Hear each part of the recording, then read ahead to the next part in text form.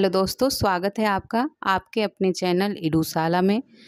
आज के वीडियो में हम लोग एन नोट्स की सीरीज़ से समान विज्ञान में फिजिक्स देखने वाले हैं, ठीक है? आज हम लोग फिजिक्स देखेंगे। इसका देखिए, इतिहास में प्राचीन भारत, मध्यकालीन भारत, आधुनिक भारत और साथ ही जीव विज्ञान, ऐसे ही करके ये सब कंप्लीट कराए जा रहे हैं तो आप लोग इसको देखिएगा। आज हम लोग फिजिक्स में क्या देखने वाले हैं? तो फिजिक्स में देखिए इसमें पंद्रह चैप्टर है, कुल पंद्रह चैप्टर है। तो आज के वीडियो में हम लोग फिजिक्स का पाँच चैप्टर देखने वाले हैं, ठीक है? पाँच चैप्टर में आपको चैप्टर वन मात्रक एवं मापन मिल जाएगा, गति मिल जाएगा, बल एवं न्यूटन के गति विषयक नियम और कार ऊर्जा शक्ति गुरुत्वाकर्षण। यहाँ तक यहाँ कंप्लीट करेंगे हम लोग और इसके बाद इसका आगे के वीडियो में आपको दिया जाएगा। तो चलिए इसको स्टार्ट करते हैं। स्टार्ट करने से पहले अगर आप चैनल पर नए हैं तो चैनल को सब्सक्राइब कर लीजिएगा। बेल आइकन को प्रेस कर दीजिएगा ताकि आपको नए नए वीडियो मिलता रहे और वीडियो को लाइक किया कीजिए, शेयर कीजिए, कमेंट कीजिए और हमारे साथ बने रहिए। आपके कमेंट से हमें मोटिवेशन मिलता है और हम आपके लिए नए नए वीडियो लाते हैं। तो चलिए फिर स्टार्ट करते हैं, भौतिक विज्ञान।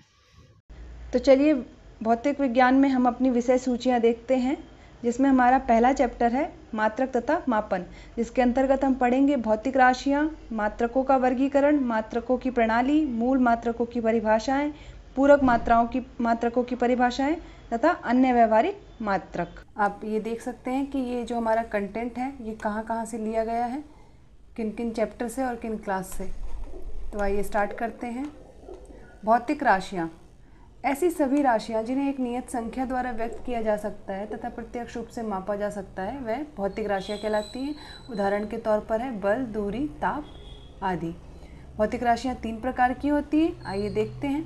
फंडामेंटल राशियाँ, मूल राशियाँ ऐसी भौतिक राशियाँ जो अन्य राशियों पर निर्भर नहीं होती हैं, वह मूल राशियाँ कहलाती हैं, जैसे कि द्रव्यमान, लंबाई, समय, ताप, ज्योति, तीव्रता, विद्युत धारा तथा पदार्थ की मात्रा। व्युत्पन्न राशियाँ जो होती है, वह ऐसी भौतिक राशियाँ होती हैं जो मूल राशियों पर निर्भर होती हैं, एवं मूल राशियों की सहायता से व्युत्पन्न की जा सकती हैं। वे कौन कौन सी हैं? क्षेत्रफल, आयतन, दाब, घनत्व आदि।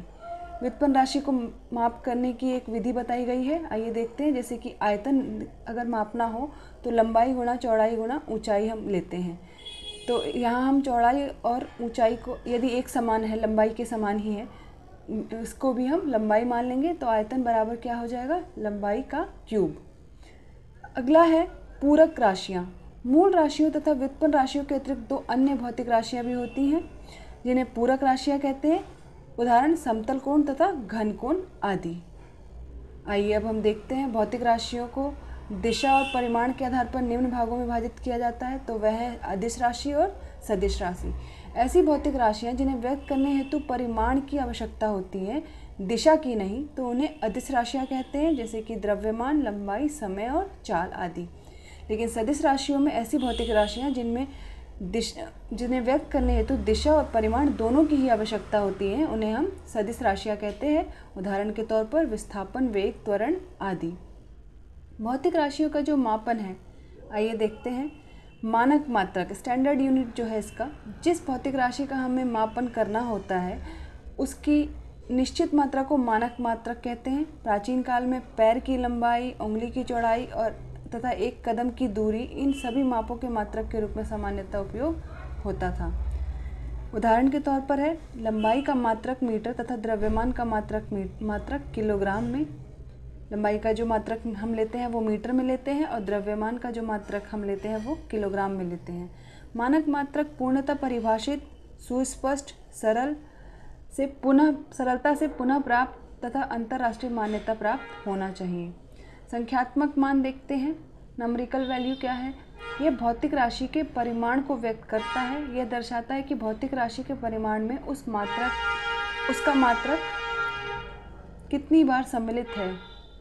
जैसे छात्र का द्रव्यमान 40 किलोग्राम है, इसका अर्थ है कि छात्र का द्रव्यमान मात्रक किलोग्राम से 40 गुना है।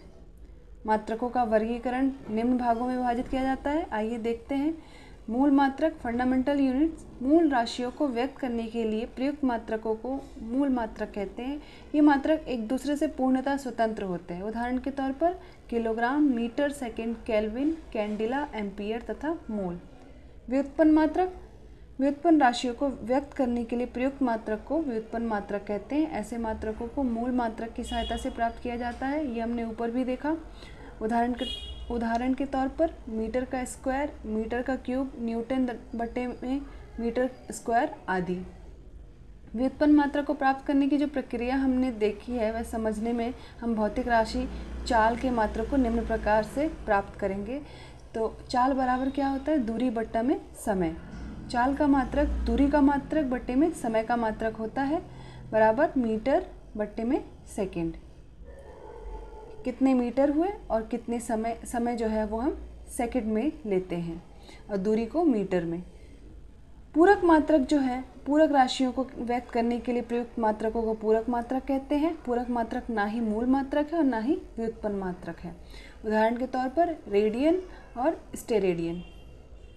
मात्रकों की जो प्रणाली है 1790 में फ्रांसीसियों ने मापन की एक मानक प्रणाली की रचना की, जिसे मीटरी पद्धति मैट्रिक सिस्टम कहते हैं, परंतु आजकल भौतिक राशियों का मापन करने के लिए निम्नलिखित प्रणालियों का प्रयोग किया गया है। आइए देखते हैं, सेंटीमीटर ग्राम, सेकेंड प्रणाली सीजीएस सिस्टम। ये प्रणाली में लंबाई का मात्रक सेंटीमीटर, द्रव्यमान का मात्रक ग्राम तथा समय का मात्रक सेकेंड होता है। फुट पाउंड सेकेंड प्रणाली एफपीएस सिस्टम, इस प्रणाली में लंबाई का मात्रक फुट होता है, द्रव्यमान का मात्रक पाउंड होता है तथा समय का मात्रक सेकेंड होता है। मीटर किलोग्राम सेकंड प्रणाली एम सिस्टम, इस प्रणाली में लंबाई का मात्रक मीटर होता है, द्रव्यमान का मात्रक किलोग्राम तथा समय का मात्रक सेकंड होता है। ये इसके शॉर्ट फॉर्म दिए हुए हैं एवरीवेशन फॉर्म में। मूल मात्रकों की एसआई प्रणाली जो है, international system of fundamental units, उपरोक्त प्रणाली के अतिरिक्त मात्रकों की एक अन्य प्रणाली है, जिसे एसआई प्रणाली कहते हैं। संपूर्ण विश्व में इसी प्रणाली का उपयोग किया जाता है। इस प्रणाली में सात मूल मात्रक तथा दो पूरक मात्रक को सम्मिलित किया गया है। आइए देखते हैं। तो ये है ये है हमारी मूल मात्रक, भौतिक राशियाँ, उनके मात्रक और उनके संकेत। मूल राशियाँ जो हैं, लंबाई की जो लंबाई का जो मात्रक है वो मीटर है और उसका संकेत एम द्रव्यमान का मात्रक किलोग्राम, संकेत केजी समय का मात्रक सेकंड एस विद्युत धारा एम्पियर में और संकेत ए ताप का केल्विन के ज्योति तीव्रता कैंडिला से, पदार्थ की मात्रा मोल से। पूरक राशियाँ एवं उनके पूरक मात्रक जो हैं, समतल कोण, रेडियन और आर ए डी घन कोण, स्टेरेडियन एस आर मूल मात्रकों की परिभाषा, मीटर। एक मीटर वह दूरी है जिसे प्रकाश निर्वात में एक सेकेंड के उनतीस करोड़ ये एक सेकेंड रुकिएगा। जी, उनतीस करोड़ संतानवे लाख बयानवे हज़ार चार सौ अट्ठावनवे भाग में तय करता है। किलोग्राम परमाणवीय स्केल पर एक किलोग्राम मात्रा सी ट्वेल्व कार्बन के पाँच दशमलव ज़ीरो एक आठ आठ गुना दस की पावर पच्चीस परमाणुओं के द्रव्यमान के बराबर होती है। सेकेंड सेकेंड सीजियम एक सौ तैंतीस के, का परमाणु 133 का परमाणु परमाणु घड़ी में जितने समय में 9 अरब 19 करोड़ 26 लाख इकतीस हज़ार सात सौ सत्तर कंपन करता है, वह समय एक सेकंड कहलाता है। एम्पियर, एक एम्पियर वह विद्युत धारा है जो कि निर्वात में एक मीटर की दूरी पर स्थित दो सीधे अनंत लंबाई के समानांतर तारों में प्रवाहित होने पर प्रत्येक तार की मीटर लंबाई पर तारों के बीच दो गुना दस की पावर माइनस सेवन न्यूटन का दाब उत्पन्न करती है। कैंडिला किसी दिशा में 540 गुना दस की पावर 12 हर्टेज आवृत्ति वाले स्रोत की ज्योति तीव्रता है, जो उस दिशा में एक बट्टे छः सौ तिरासी वाट प्रति स्टेरेडियन की विकिरण तीव्रता का एक वर्णीय प्रकाश ऊर्जित करता है। केल्विन सामान्य वायुमंडलीय दाब पर गलते हुए बर्फ़ के ताप के अंतर के सौवे भाग को एक केल्विन कहते हैं। मोल एक ऐसी, मोल किसी पदार्थ की वह मात्रा है, जिसमें उस पदार्थ के अवयवों की वही संख्या, जितनी कार्बन ट्वेल्व के ज़ीरो दशमलव ज़ीरो एक पाँच किलोग्राम में परमाणु की संख्या होती है। पूरक मात्र मात्रकों की परिभाषाएँ। रेडियन। एक रेडियन वह कोण है, जो किसी वृत्त में वृत्त की त्रिज्या के बराबर एक चाप वृत्त के केंद्र पर अंतरित करता है। एक रेडियन कोण सत्तावन दशमलव तीन डिग्री से थोड़ा कम होता है। स्टेरेडियन एक वह घन कोण है जो किसी गोले की त्रिज्या के वर्ग के बराबर क्षेत्रफल किसी गोलीय पृष्ठ द्वारा उस गोले के केंद्र पर अंतरित होता है। ये देख सकते हैं आप, एसआई मात्रक और उनके कुछ एसआई मात्रक और उसके अलावा भी कुछ अतिरिक्त मात्रक हैं। ये आप एक नज़र डाल लेंगे इस पर। लंबाई के अन्य मात्रक देखते हैं। बहुत बड़ी एवं अत्यंत सूक्ष्म लंबाई के मापन के लिए हम लंबाई के कुछ विशिष्ट मात्रक प्रयोग में लाते हैं, जिनका वर्णन नीचे है, देखते हैं। खगोलीय मात्रक। एस्ट्रोनॉमिकल यूनिट्स एआईयू जो कहते हैं, सूर्य के केंद्र से पृथ्वी के केंद्र के मध्य की औसत दूरी एक खगोलीय मात्रक, अर्थात एस्ट्रोनॉमिकल यूनिट्स कहलाती है। एक ए आई इक्वल्स टू होता है एक दशमलव चार नौ छः गुना में दस की पावर इलेवन मीटर इसे हम वन, एक दशमलव पाँच गुना में दस की पावर इलेवन मीटर भी लिख सकते हैं। प्रकाश वर्ष लाइट ईयर प्रकाश वर्ष द्वारा निर्वात, प्रकाश द्वारा निर्वात एक वर्ष में तय की गई दूरी, एक का, दूरी को एक एक प्रकाश वर्ष कहते हैं। तो इसको नाप, मापने के लिए हम क्या करते हैं? प्रकाश की चाल गुना समय, एक वर्ष का पूरा लेते हैं। तो इसकी हम, इसे हम नाप, मापते हैं इस तरह से तीन गुना दस की पावर आठ गुना तीन सौ पैंसठ गुना चौबीस गुना साठ गुना साठ। साठ मिनट साठ सेकेंड, चौबीस दिन तीन सौ, चौबीस घंटे तीन सौ पैंसठ दिन और ये हमारा दस की पावर आठ गुना तीन। इसका हमारा टोटल आ जाता है नौ दशमलव चार छः एक गुना में दस की पावर पंद्रह मीटर पारसेक एक पारसेक वह दूरी है जो एक खगोलीय मात्रक दूरी के चाप के रूप में होने पर एक आर्क सेकेंड, एक आर्क सेकेंड का कोण बनाने पर प्राप्त होती है। तो इसको मापने के लिए हम क्या करते हैं? एक पास्कल बराबर तीन दशमलव दो छः प्रकाश वर्ष, अर्थात तीन दशमलव दो छः गुना में नौ दशमलव चार छः एक गुना दस की पावर पंद्रह मीटर इक्वल्स टू तीन दशमलव ज़ीरो आठ गुना में दस की पावर सोलह मीटर। लंबाई के जो छो, छोटे मात्रक होते हैं मीटर से छोटे मात्रक तो वो हमें ऐस इस तरह से नाप मापे जाते हैं। एक डेसीमीटर इक्वल्स टू होता है एक बट्टे दस मीटर अर्थात दस की पावर माइनस एक मीटर। एक सेंटीमीटर होता है एक बट्टे सौ मीटर अर्थात दस की पावर माइनस टू मीटर। एक मिलीमीटर होता है एक बट्टे हज़ार मीटर अर्थात दस की पावर माइनस तीन मीटर। एक माइक्रोन अथवा एक माइक्रोमीटर जो होता है वो होता है इक्वल्स टू टेन की पावर माइनस सिक्स मीटर। एक नैनोमीटर होता है इक्वल्स टू टेन की पावर नाइन मीटर। एक एंगस्ट्रॉम होता है टेन की पावर माइनस टेन मीटर और एक फर्मी होता है टेन की power minus fifteen metre. Metre से जो बड़े मात्रक होते हैं, उन्हें हम कैसे मापते हैं? एक डेकामीटर होता है इक्वल्स टू टेन मीटर। इसे हम टेन की पावर वन मीटर भी कह सकते हैं। एक हेक्टोमीटर इक्वल्स टू होता है हंड्रेड मीटर और इसे हम टेन की पावर टू मीटर भी कह सकते हैं। एक किलोमीटर होता है हज़ार मीटर, अर्थात टेन की पावर थ्री मीटर। एक मेगा मीटर इक्वल्स टू होता है टेन की पावर सिक्स मीटर और एक गीगा मीटर होता है टेन की पावर नाइन मीटर। एक इंच में ज़ीरो दशमलव ज़ीरो दो पाँच चार मीटर या दो दशमलव पाँच चार सेंटीमीटर होते हैं। एक फुट में बारह इंच होते हैं। इसे हम ज़ीरो दशमलव तीन ज़ीरो चार आठ मीटर भी ले सकते हैं। एक गज में तीन फुट इक्वल्स टू ज़ीरो दशमलव नौ एक चार चार मीटर भी होता है। एक नॉटिकल मील्स में एक हज़ार आठ सौ बावन मीटर होते हैं। द्रव्यमान के अन्य मात्रक जो होते हैं पदार्थ द्रव्यमान पदार्थ का एक आधारभूत गुण है। ये ताप, दाब या स्थिति पर निर्भर नहीं करता है। द्रव्यमान के छोटे तथा बड़े मात्रकों का वर्णन, आइए देखते हैं। एक हेक्टोग्राम बराबर होता है सौ ग्राम इक्वल्स टू हम इसे लिख सकते हैं सौ गुना दस की पावर माइनस तीन किलोग्राम बराबर दस की power minus kilogram minus one kilogram एक डेकाग्राम होता है सौ ग्राम बराबर दस गुना दस की पावर माइनस तीन किलोग्राम इक्वल्स टू हम इसे दस की पावर माइनस टू ग्राम भी कहते हैं. एक ग्राम होता है इक्वल्स टू वन की power thousand gram thousand kilogram equals और इसे हम टेन की पावर माइनस थ्री किलोग्राम भी कह सकते हैं।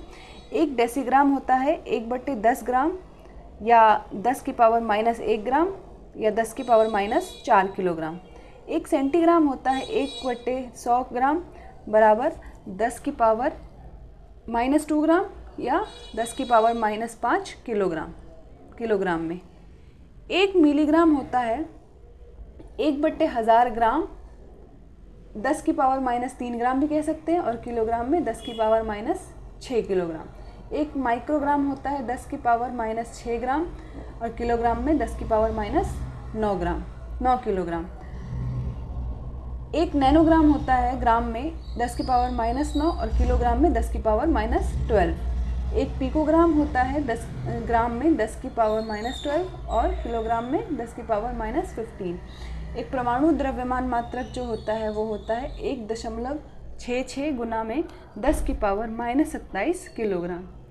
एक कैरेट होता है इक्वल्स टू 200 मिलीग्राम के। द्रव्यमान के बड़े मात्रक, आइए देखते हैं, एक क्विंटल होता है 100 किलोग्राम के बराबर और इसे हम 10 की पावर दो किलोग्राम भी कह सकते हैं। एक मीट्रिक टन होता है हज़ार किलोग्राम इसे हम 10 की पावर तीन किलोग्राम या 10 क्विंटल भी कह सकते हैं, ये इक्वल ही होता है। एक मेगाग्राम होता है 10 की पावर तीन किलोग्राम, एक गीगाग्राम होता है 10 की पावर छः किलोग्राम, एक टेराग्राम होता है 10 की पावर नौ किलोग्राम, एक स्लग होता है चौदह दशमलव पाँच सात किलोग्राम, एक सौर द्रव्यमान होता है एक दशमलव नौ आठ नौ गुना में दस की पावर तीस किलोग्राम और एक चंद्रशेखर सीमा होता है दो दशमलव आठ गुना दस की पावर तीस किलोग्राम के बराबर। समय के जो अन्य मात्रक हैं वो वे हैं। समय मापन हेतु समय का परमाणुवीय मानक प्रयोग करते हैं, जो सीजियम परमाणु में उत्पन्न आवर्त कंपनों पर आधारित है। इसे परमाणु घड़ी घड़ी ऑटोमेटिक अटोमिक क्लॉक कहते हैं। आइए देखते हैं समय के छोटे व बड़े मात्रक।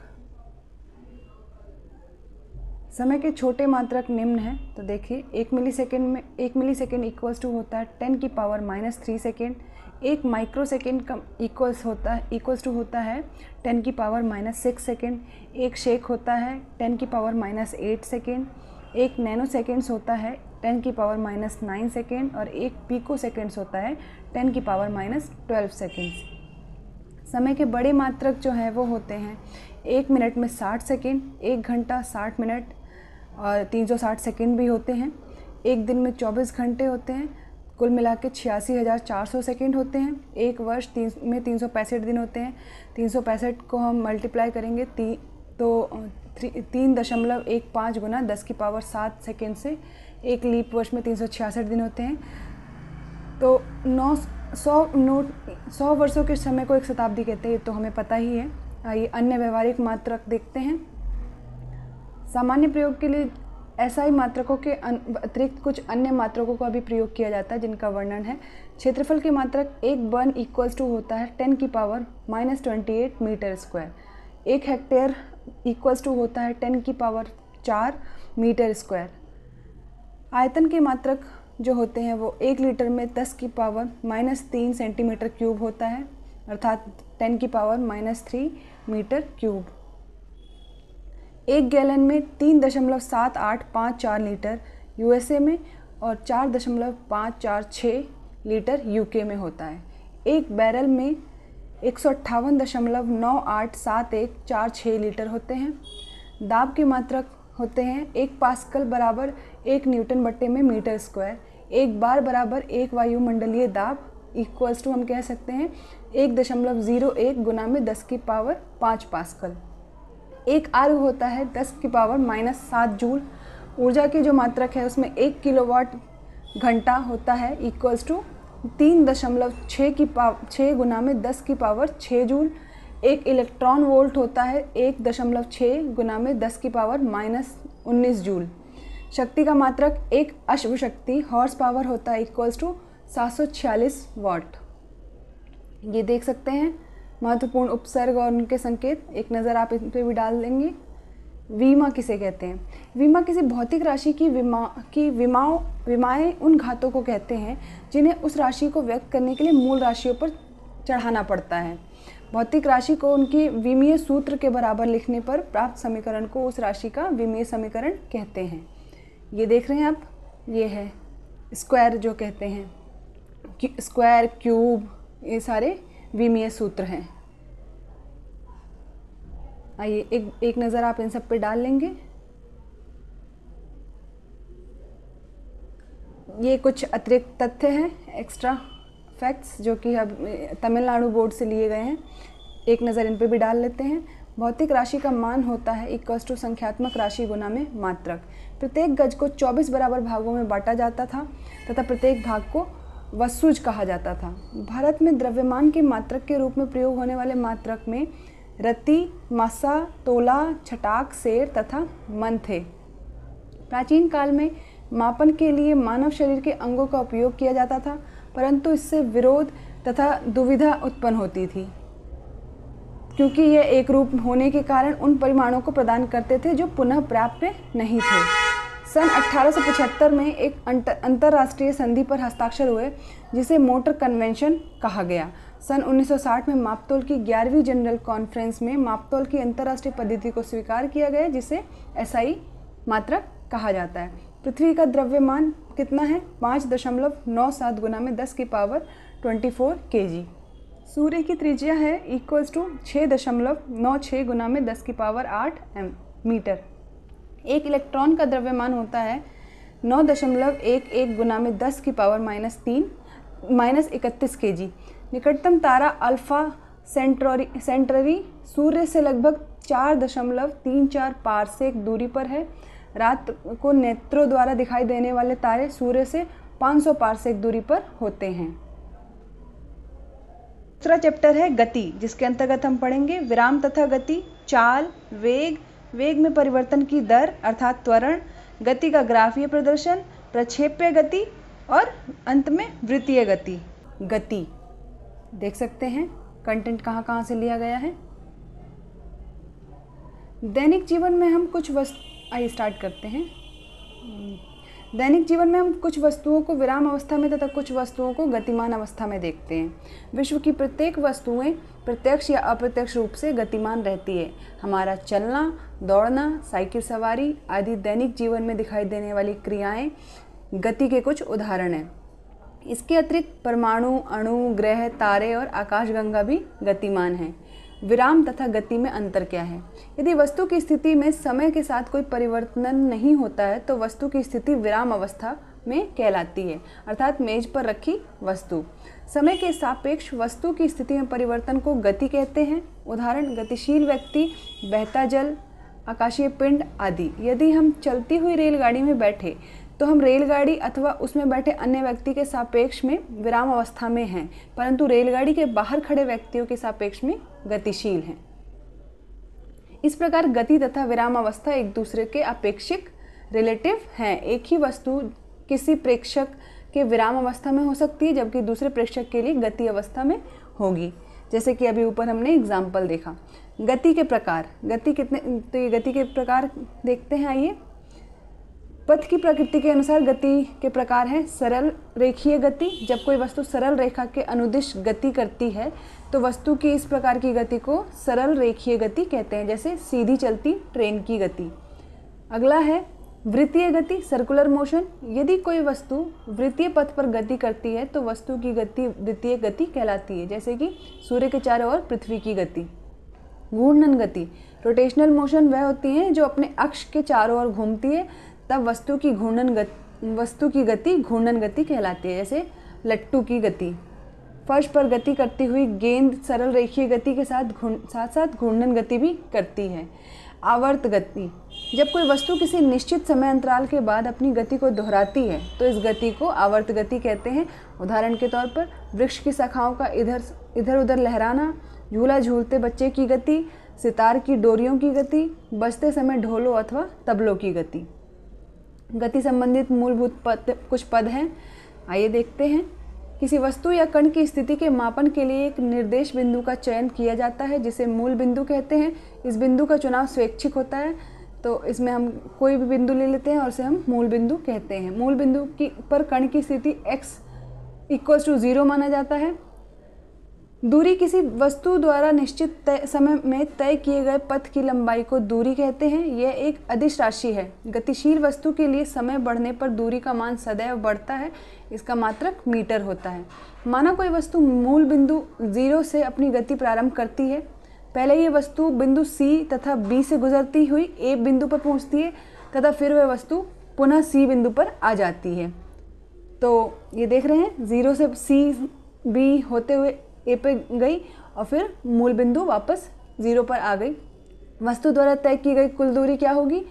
O A plus A C equals to जो ये दिया हुआ है डेटा के अनुसार नंबर के अनुसार 60 plus 35 five equals to 95 kilometre दूरी को मापने के लिए ओडोमीटर यंत्र का प्रयोग किया जाता है।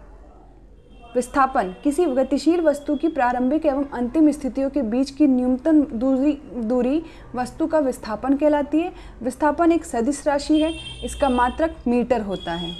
माना एक लड़का एग्ज़ाम्पल दिखा रहा है ये।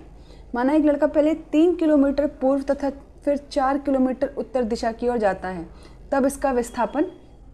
तो ये यहाँ पर हमने पाइथागोरस थ्योरम जो हमने टेंथ क्लास में भी पढ़ा होगा, मैथ्स में तो उसी के अनुसार इन्होंने निकाला है कि ओ बी का मान निकालने के लिए इन्होंने ओ ए मतलब आधार का स्क्वायर प्लस में ए बी लंब का स्क्वायर कर दिया अंडर रूट करके। तो ये हमारा आ गया। ये हम भी कर सकते हैं एग्ज़ाम में। जबकि उसके द्वारा तय की गई कुल दूरी कितनी है? तो कितना, ये आंसर कितना आया? सात किलोमीटर। इसी प्रकार यदि कोई व्यक्ति अपने घर से दफ्तर तक दस किलोमीटर जाता है तथा फिर वापस आ जाता है तब इस व्यक्ति का विस्थापन शून्य होगा। इसके द्वारा तय की गई दूरी कितनी होगी? क्योंकि ये दोबारा से वहीं आ गए। तो दूरी कितनी होगी ये? कुल दूरी 20 किलोमीटर। दूरी और विस्थापन में अंतर देखते हैं। दूरी गतिमान वस्तु द्वारा तय की गई लंबाई दूरी कहलाता है। विस्थापन किसी निश्चित दिशा में वस्तु की प्रारंभिक एवं अंतिम स्थितियों के बीच की दूरी विस्थापन कहलाती है। गतिमान वस्तु के लिए दूरी का मान ऋणात्मक तथा शून्य नहीं होता है। हो सकता है, किंतु अर्थात दूरी सदैव घनात्मक में होती है। गतिमान, लेकिन गतिमान वस्तु वस्तु के लिए विस्थापन का मान घनात्मक, ऋणात्मक अथवा शून्य कुछ भी हो सकता है। यह पथ की आकृति पर निर्भर करती है, यह पथ की आकृति पर निर्भर नहीं करती है। आइए अब एक समान गति और असमान गति से तात्पर्य देखते हैं। एक समान गति, यदि कोई वस्तु एक नियत समय अंतराल में नियत दूरी तय करती है तो उस उसकी गति एक समान गति कहलाती है। उदाहरण के तौर पर यदि कोई बस एक घंटे में 50 किलोमीटर तथा दूसरे घंटे में 50 किलोमीटर की दूरी तय करती है तो बस की गति एक समान गति कहलाती है। और असमान गति कहलाती है, यदि कोई वस्तु समान समय अंतरालों में अस, असमान दूरी तय करती है तो उस, उसकी गति असमान गति कहलाती है। उदाहरण के तौर पर एक कार का भीड़ वाली गलियों से गुजरना तथा मनुष्य का पार्क में टहलना आदि। चाल किसी गतिमान वस्तु द्वारा एकांक समय में तय की गई दूरी को उस वस्तु की चाल कहते हैं। और इसे नापने, मापने के लिए हम क्या करते हैं? फॉर्मूला चाल बराबर दूरी बट्टे में समय अंतराल। यह एक अदिश राशि है। इसका मात्रक मीटर बट्टे सेकंड होता है तथा वस्तु की चाल सदैव घनात्मक होती है। चाल के प्रकार देखते हैं। एक समान चाल, असमान चाल और औसत चाल। एक समान चाल जब कोई वस्तु एक जब वस्तु समान समय अंतराल में समान दूरी तय करती है तो उसकी चाल एक समान चाल कहलाती है। और जब कोई वस्तु समान समय अंतराल में असमान दूरी तय करती है तो चाल असमान चाल कहलाती है।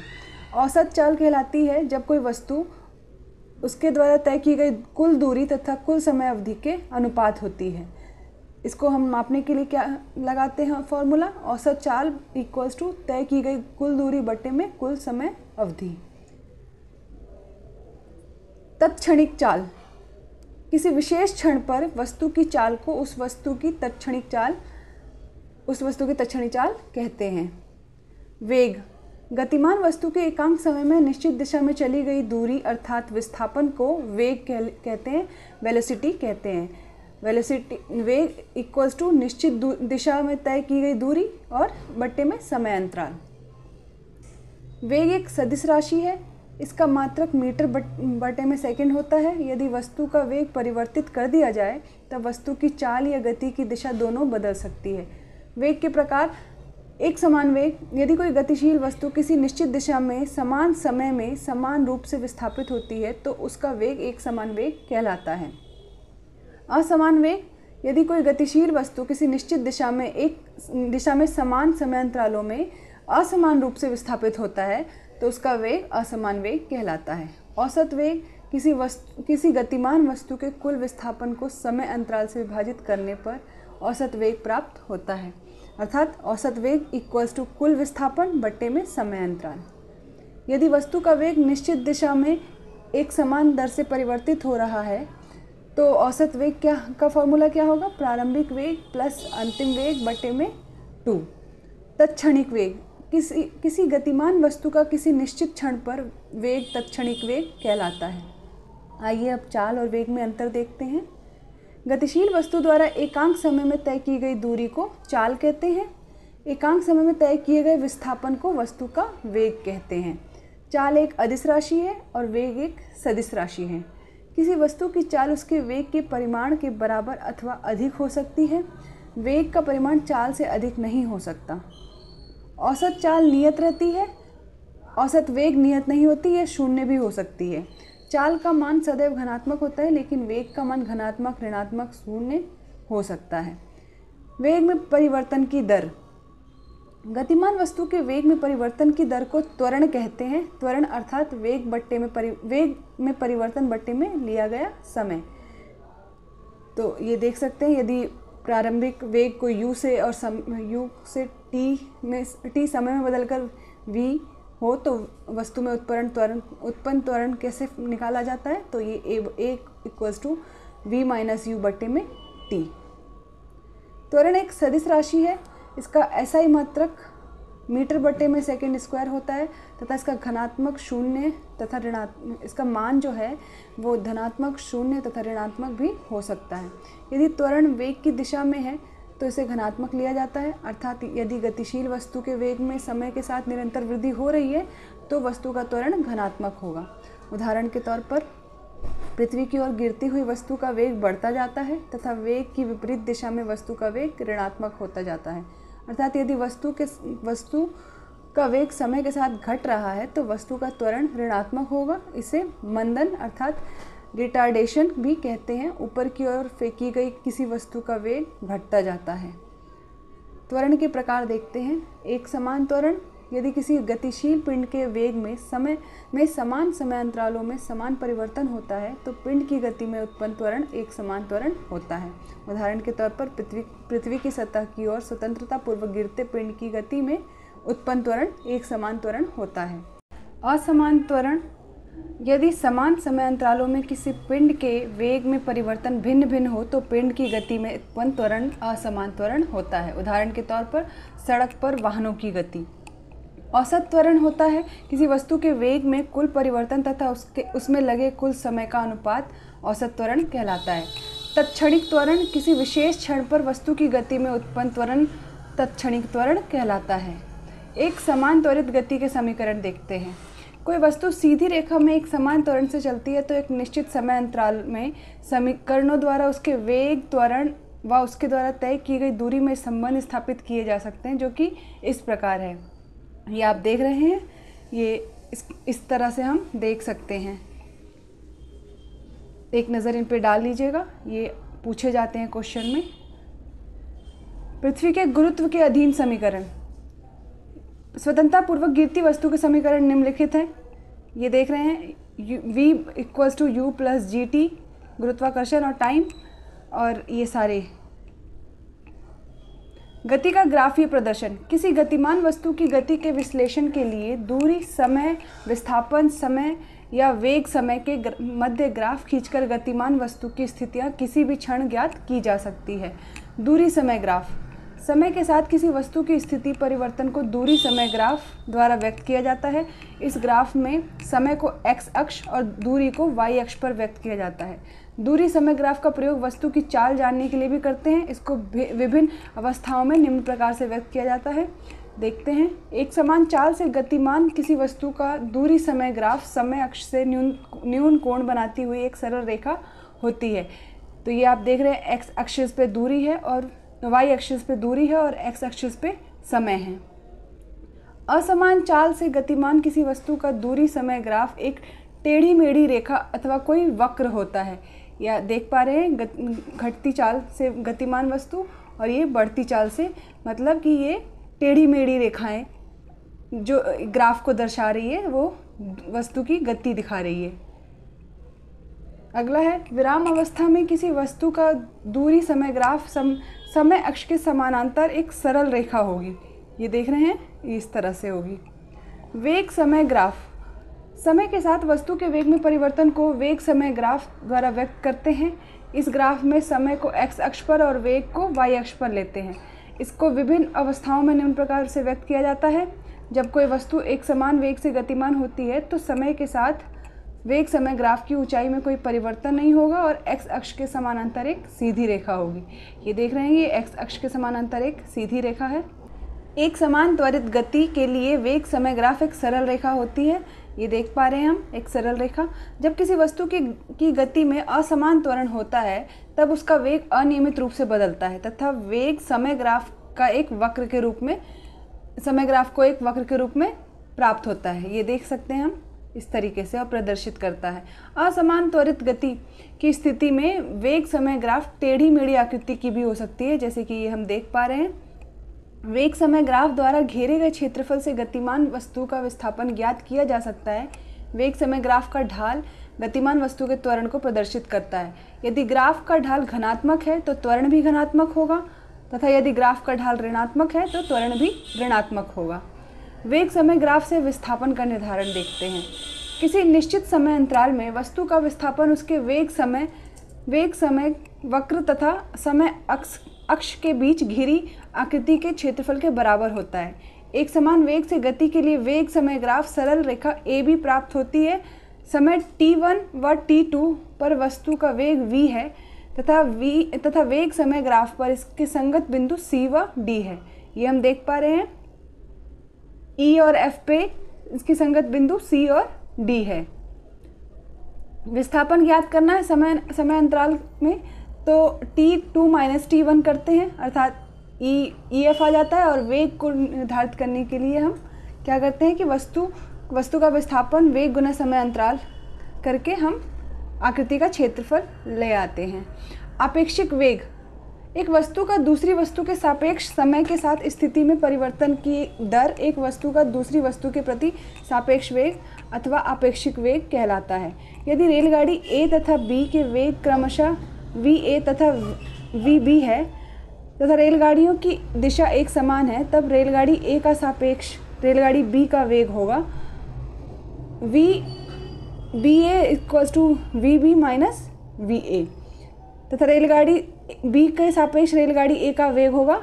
ये देख सकते हैं हम एक एक समतल में गति।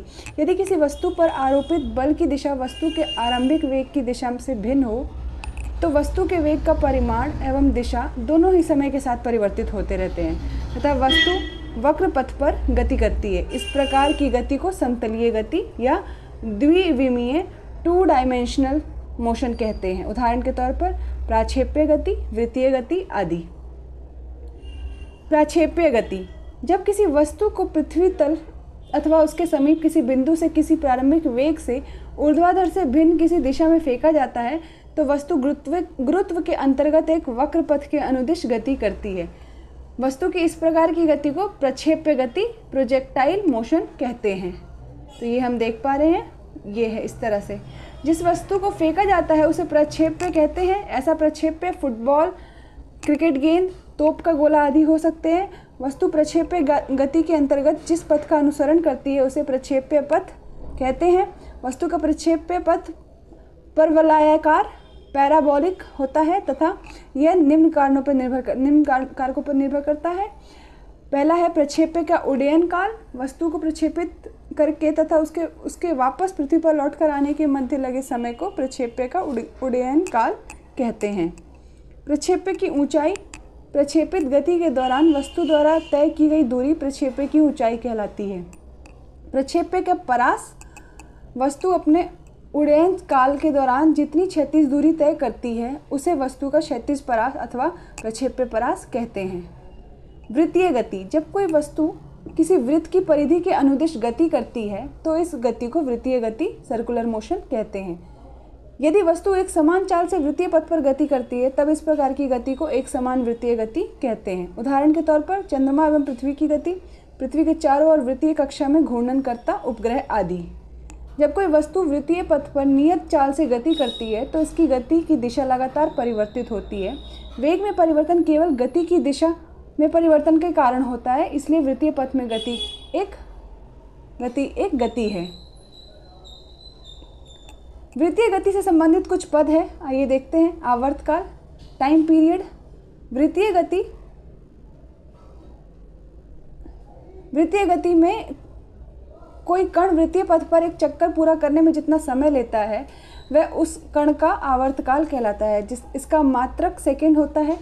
आवृत्ति। फ्रिक्वेंसी वृत्तीय गति में कोई कण वृत्तीय पथ पर एक पर एक सेकंड में जितने चक्कर लगाता है, वह कण की आवृत्ति कहलाती है। इसका मात्रक क्या होता है? हर्टज। कोणीय विस्थापन। एक समान वृत्तीय गति करते हुए वस्तु के त्रिज्य सदिश द्वारा वृत्त के केंद्र पर अंतरित अंतरित किया गया कोण उस वस्तु का कोणीय विस्थापन कहलाता है। को इसका जो मात्रक है वो क्या है? रेडियन होता है। कोणीय वेग, वृत्तीय गति में किसी वस्तु की समय के सापेक्ष कोणीय विस्थापन में परिवर्तन की दर को उस वस्तु का कोणीय वेग कहते हैं। इसका भी मात्रक रेडियन या सेकेंड होता है। कोणीय त्वरण, कोणीय वेग परिवर्तन की दर को कोणीय त्वरण कहते हैं। इसका मात्रक रेडियन बटे में सेकेंड स्क्वायर होता है, यह कोणीय वेग की दिशा में परिवर्तन के कारण होता है। इसलिए कोणीय वेग की दिशा बदलने के अनुसार सामान्यतः इसकी दिशा वृत्ति की परिधि वृत्त की परिधि की अनुदिश मानी जाती है। अभी केंद्र त्वरण। सेंट्रिपिटल एसिलेशन जब कोई कण एक समान वृत्तीय गति करता है, तब कण के वेग का परिमाण नियत रहता है, लेकिन उसकी दिशा लगातार बदलती रहती है, जिसके कारण वेग की लंबवत दिशा में एक त्वरण कार्य करता है, जिसकी दिशा सदैव केंद्र की ओर होती है। इस त्वरण को अभिकेंद्र त्वरण कहते हैं। आइए कुछ एक्स्ट्रा फैक्ट्स देख लेते हैं। विस्थापन दूरी के बराबर तब होता है जब वस्तु सरल रेखा पर गतिशील है और अपनी दिशा नहीं बदलती है। क्षणिक चाल क्षणिक वेग का परिमाण बताती है, लेकिन औसत चाल औसत वेग का परिमाण नहीं बताती है। औसत वेग औसत चाल से कम या उसके बराबर होता है। औसत वेग शून्य हो सकता है, लेकिन औसत चाल शून्य नहीं हो सकती है। असमान गति के लिए त्वरण शून्य नहीं होता है। यदि ग्राफ की रेखा एक सरल रेखा है तो x अक्ष तथा y अक्ष के साथ 45 डिग्री का कोण बनाती है तो गति सरल रेखीय गति है और दूरी विस्थापन के बराबर है। जब कोई वस्तु वृत्तीय पथ पर गतिशील है तो अधिकतम विस्थापन वृत्तीय पथ के व्यास के बराबर होती है और वस्तु द्वारा तय की गई दूरी समय के साथ बढ़ती है। हमारा तीसरा चैप्टर है बल तथा न्यूटन के गति विषयक नियम, जिसमें हम पढ़ेंगे बल, जड़त्व, न्यूटन के गति विषयक नियम, रेखीय संवेग संरक्षण का सिद्धांत, घर्षण, अभिकेंद्र बल अपगेंद्र अपकेंद्र बल। बल तथा न्यूटन के गति विषयक नियम। कंटेंट देख सकते हैं कहाँ कहाँ से लिया गया है। चलिए स्टार्ट करते हैं। अपने दैनिक जीवन में हम देखते हैं कि एक स्थिर वस्तु को गति देने के लिए या गतिशील वस्तु को रोकने के लिए हमें कुछ प्रयास करना पड़ता है। अर्थात किसी वस्तु को गति की अवस्था में लाने के लिए हमें उसे खींचना, धकेलना या ठोकर लगाना पड़ता है। वस्तु को खींचने, धकेलने या ठोकर लगाने तथा वस्तु को रोकने की इस क्रिया पर बल की अवधारणा आधारित हैं। बल बल वह बाह्य कारक है जो किसी पिंड के रूप व आकार या स्थिति में परिवर्तन कर सकता है। वह बल कहलाता है। दैनिक जीवन में बल का उपयोग किसी पिंड या वस्तु को एक स्थान से उठाकर दूसरे स्थान तक ले जाने में किया जाता है। साधारणतः बल वह धक्का अथवा खिंचाव होता है जो किसी वस्तु में गति या विराम की अवस्था में परिवर्तन करता है या परिवर्तन करने का प्रयास करता है। ये इन तस्वीरों से समझ सकते हैं। बल एक सदिश राशि है और इसका ऐसा एसआई मात्रक न्यूटन तथा सी सीजीएस मात्रक डाइन होता है। बल का एक अन्य मात्रक किलोग्राम माइनस भार भी होता है। न्यूट, एक न्यूटन इक्वल्स टू होता है एक किलोग्राम माइनस मीटर बट्टे में सेकेंड स्क्वायर या या फिर सेकेंड स्क्वायर बल के प्रभाव किसी वस्तु पर बल लगाने के कारण उसमें उत्पन्न होने वाले विभिन्न प्रभाव हैं। देख आइए देखते हैं। बल लगाने से किसी वस्तु के आकार या आयतन में परिवर्तन किया जा सकता है। जस्ते की चादर को मोड़कर उसका आकार बदला जा सकता है। गोलाकार गेंद का अंडाकार हो जाना स्प्रिंग का फैलना ये सभी जो हैं किसी वस्तु इस, किसी स्थिर वस्तु पर बल लगाने से वस्तु गतिमान हो जाती है। उदाहरण के तौर पर रोलर को धक्का देकर गतिशील किया जा सकता है। इसी प्रकार गतिमान वस्तु पर गति की विपरीत दिशा में बदल, में बल लगाने और उसे विराम अवस्था में लाया जा सकता है। बल लगाने पर उसे विराम अवस्था में लाया जा सकता है, अतः बल लगाने से वेग में परिवर्तन किया जा सकता है। बल किसी वस्तु की दिशा बदल सकता है। उदाहरण के तौर पर फुटबॉल पर ठोकर मारकर उसकी गति की दिशा को बदला जा सकता है। बल के प्रकार, संपर्क बल। दो वस्तुओं के वास्तविक संपर्क में आने पर जो बल कार्य करता है, उसे संपर्क बल कहते हैं। उदाहरण के तौर पर घर्षण बल, श्यान बल, पेशीय बल। पेशीय बल हमारे बल, यह बल हमारे शरीर की मांसपेशियों द्वारा लगता है। हमारी मांसपेशियों की क्रिया स्वरूप लगने वाले बल को पेशीय बल कहते हैं। पशु भी अपनी शारीरिक क्रियाकलापों तथा अन्य कार्यों को करने के लिए ये पेशीय बल का उपयोग करते हैं। घर्षण बल। जब कोई वस्तु किसी दूसरी वस्तु की सतह पर फिसलती है या ऐसा करने का प्रयास करती है तो उनके बीच लगने वाले बल को घर्षण बल कहते हैं। असंपर्क बल। ऐसे बल जिनमें दो वस्तुओं के बीच संपर्क करने की आवश्यकता नहीं होती, असंपर्क बल कहलाते हैं। उदाहरण के तौर पर गुरुत्वाकर्षण बल, चुंबकीय बल, दो अवशेष, दो आवेशों के बीच स्थैतिक बल, चुंबकीय बल। चुंबकों के समान ध्रुव एक दूसरे को प्रतिकर्षित करते हैं तथा असमान ध्रुव एक दूसरे को आकर्षित करते हैं। एक चुंबक दूसरे चुंबक पर बिना संपर्क में, बिना संपर्क में आए ही बल लगा सकता है। स्थिर वैद्युत बल। एक आवेशित वस्तु द्वारा किसी वस्तु किसी दूसरी आवेशित दूसरी आवेशित अथवा अनावेशित वस्तु पर लगाया गया बल, स्थिर वैद्युत बल अर्थात इलेक्ट्रोस्टैटिक फोर्स कहलाता है। वस्तुओं के संपर्क में ना होने पर भी यह बल कार्य करता है। गुरुत्वाकर्षण बल। वस्तुएँ पृथ्वी की ओर गिरती है क्योंकि वह उन्हें अपनी ओर आकर्षित करती है। इस बल को गुरुत्व बल या केवल गुरुत्व कहते हैं, यह एक आकर्षण बल है। गुरुत्व बल प्रत्येक वस्तु पर लगता है। गुरुत्व बल के कारण ही नदियों का पानी नीचे की ओर बहता है। ब्रह्मांड में सभी वस्तुएँ, छोटी या बड़ी जो भी हैं, सभी अन्य वस्तुओं पर बल लगाती है, तब यह आकर्षण बल गुरुत्वाकर्षण बल कहलाता है। नाभिकीय बल। प्रोटॉन व न्यूट्रॉनों के बीच लगने वाला आकर्षण बल नाभिकीय बल कहलाता है। यह सबसे शक्तिशाली बल होता है। नाभिक के स्थायित्व के लिए यह बल उत्तरदायी होता है। नाभिकीय बल लघु परास बल है। संतुलित बल। यदि किसी वस्तु पर एक साथ दो या दो से अधिक बल कार्य कर रहे हों तथा बल का परिमाणी प्रभाव शून्य हो तो वे बल संतुलित बल कहलाते हैं। संतुलित बल के बलों के प्रभाव में वस्तु की स्थिति में कोई परिवर्तन नहीं होता है परंतु वस्तु वस्तु की आकृति बदल जाती है। उदाहरण के तौर पर यदि एक गुटके को दोनों दोनों के सम, दोनों ओर समान बल लगाकर परस्पर विपरीत दिशा में ले जाया जाता है तब गुटके में कोई गति नहीं होती है अतः गुटके पर लगा बल संतुलित बल कहलाता है। असंतुलित बल। यदि किसी वस्तु अथवा निकाय पर लगे हुए बलों का परिमाणी, परिणामी बल शून्य नहीं है तो वे बल असंतुलित बल कहलाते हैं। असंतुलित बल द्वारा किसी स्थिर वस्तु को गति प्रदान की जा सकती है, तथा किसी गतिमान वस्तु को रोका जा सकता है। उदाहरण के तौर पर रस्सा कस्सी में यदि एक टीम दूसरी टीम से अधिक शक्तिशाली है तो वह रस्से अथवा कमज़ोर तथा कमज़ोर टीम को अपनी ओर खींच लेती है। इस दशा में रस्से पर लगने वाला बल असंतुलित बल है। संरक्षी तथा असंरक्षी बल। संरक्षी बल वह बल है जिसके द्वारा किसी पिंड को एक बिंदु से दूसरे बिंदु तक ले जाने में किया गया कार्य केवल पिंड की प्रारंभिक एवं अंतिम स्थितियों पर निर्भर करता है। पिंड के पथ पर नहीं उदाहरण के तौर पर गुरुत्वाकर्षण बल, स्थिर वैद्युत बल, वैद्युत चुंबकीय बल आदि संरक्षी बल हैं। असंरक्षी बल वह बल हैं जिसके द्वारा किसी पिंड को एक से एक बिंदु से दूसरे बिंदु तक ले जाने में किया गया कार्य पिंड की प्रारंभिक एवं अंतिम स्थितियों के साथ साथ पिंड द्वारा किए गए पथ पर भी निर्भर करता है। उदाहरण के तौर पर घर्षण बल और श्यान बल आदि।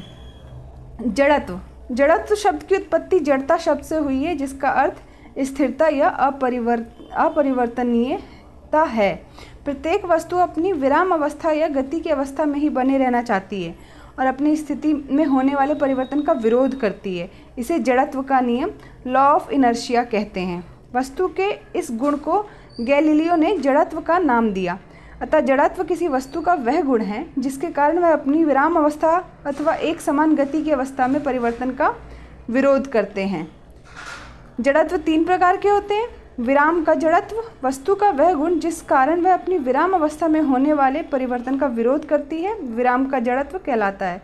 उदाहरण, बस के अचानक चलने पर उसमें बैठे यात्री पीछे की ओर गिर पड़ते हैं। इस, इसका कारण यह है कि बस अथवा रेलगाड़ी के अचानक चलने पर यात्री के शरीर का निचला भाग जो बस या रेलगाड़ी के संपर्क में है, शीघ्र ही बस अथवा रेलगाड़ी के साथ गति करता है, परंतु शरीर का ऊपरी भाग जो बस या रेलगाड़ी के संपर्क में नहीं है, अपने विराम के जड़त्व के कारण विराम अवस्था में ही बना रहता है, जिस कारण यात्री पीछे की ओर गिर पड़ते हैं।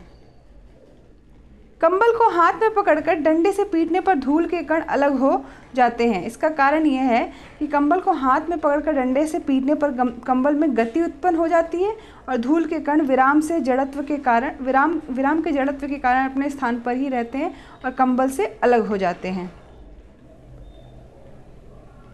पेड़ की शाखाओं को तेज़ी से हिलाने पर उसके फल नीचे गिर पड़ते हैं। इसका कारण यह है कि पेड़ों की शाखाओं को तेज़ी से हिलाने पर वे गति की अवस्था में आ जाती है परंतु उन पर लगे फल विराम के जड़त्व के कारण अपने स्थान पर विराम अवस्था में बने रहते हैं, तथा पृथ्वी के गुरुत्वाकर्षण के कारण नीचे गिर गिर पड़ते हैं। गति का जड़त्व। वस्तु का वह गुण जिस कारण वह अपनी एक समान गति में होने वाले परिवर्तन का विरोध करती है, गति का जड़त्व कहलाता है। चलती हुई बस के अचानक रुकने पर उसमें बैठे यात्री आगे की ओर झुक जाते हैं। इसका कारण यह है कि चलती हुई बस या रे, या रेलगाड़ी में यात्री की गाड़ी यात्री भी गाड़ी की चाल से गति कर रहा, करता है।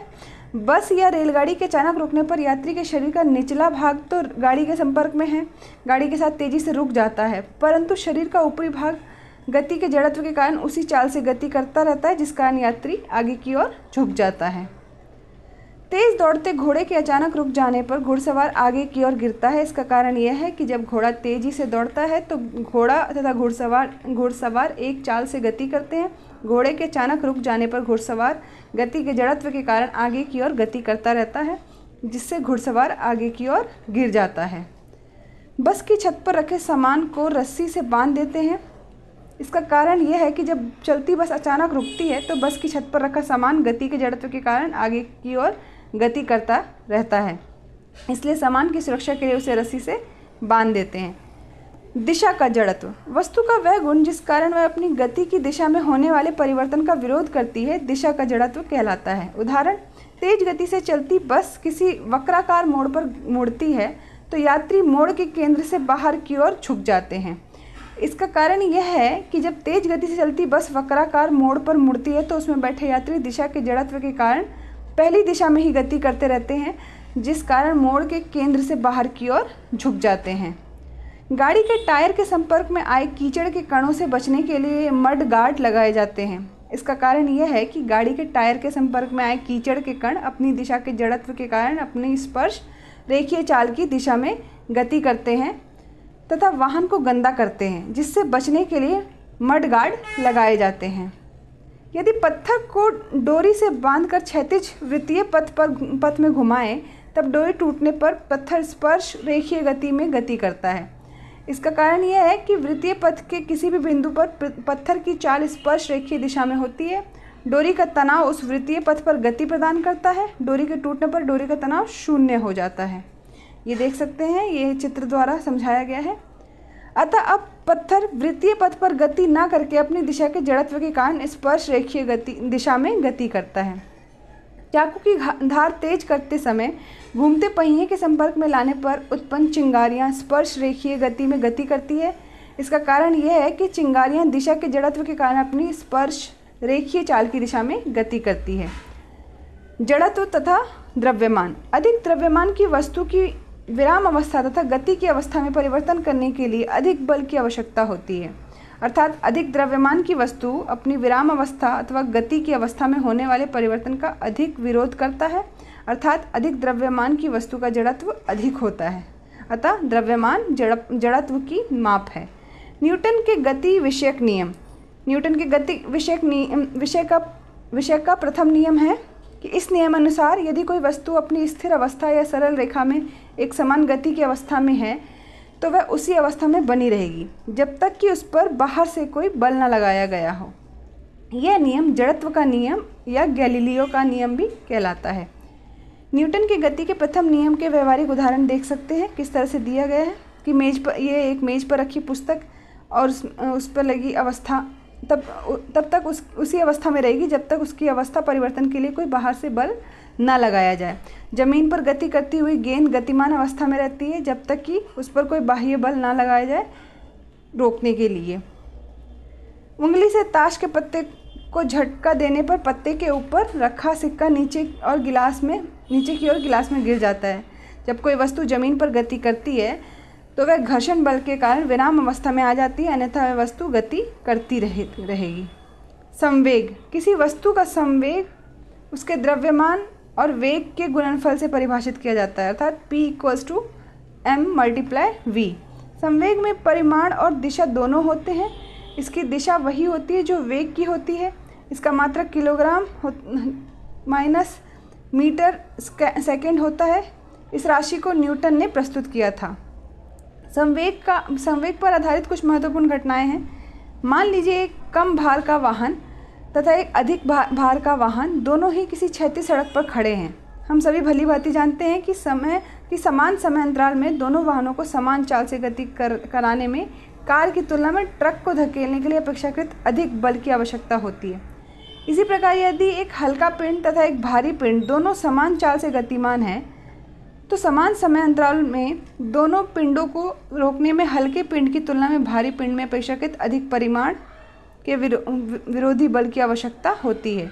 यदि दो पत्थर एक हल्का तथा दूसरा भारी एक ही भवन के शिखर से गिराए जाते हैं तो धरती पर खड़े किसी व्यक्ति के लिए भारी पत्थर की तुलना में हल्के पत्थर को पकड़ना आसान होता है। इस प्रकार किसी पिंड की संहति एक महत्वपूर्ण प्राचाल है जो गति पर बल के प्रभाव को निर्धारित करती है।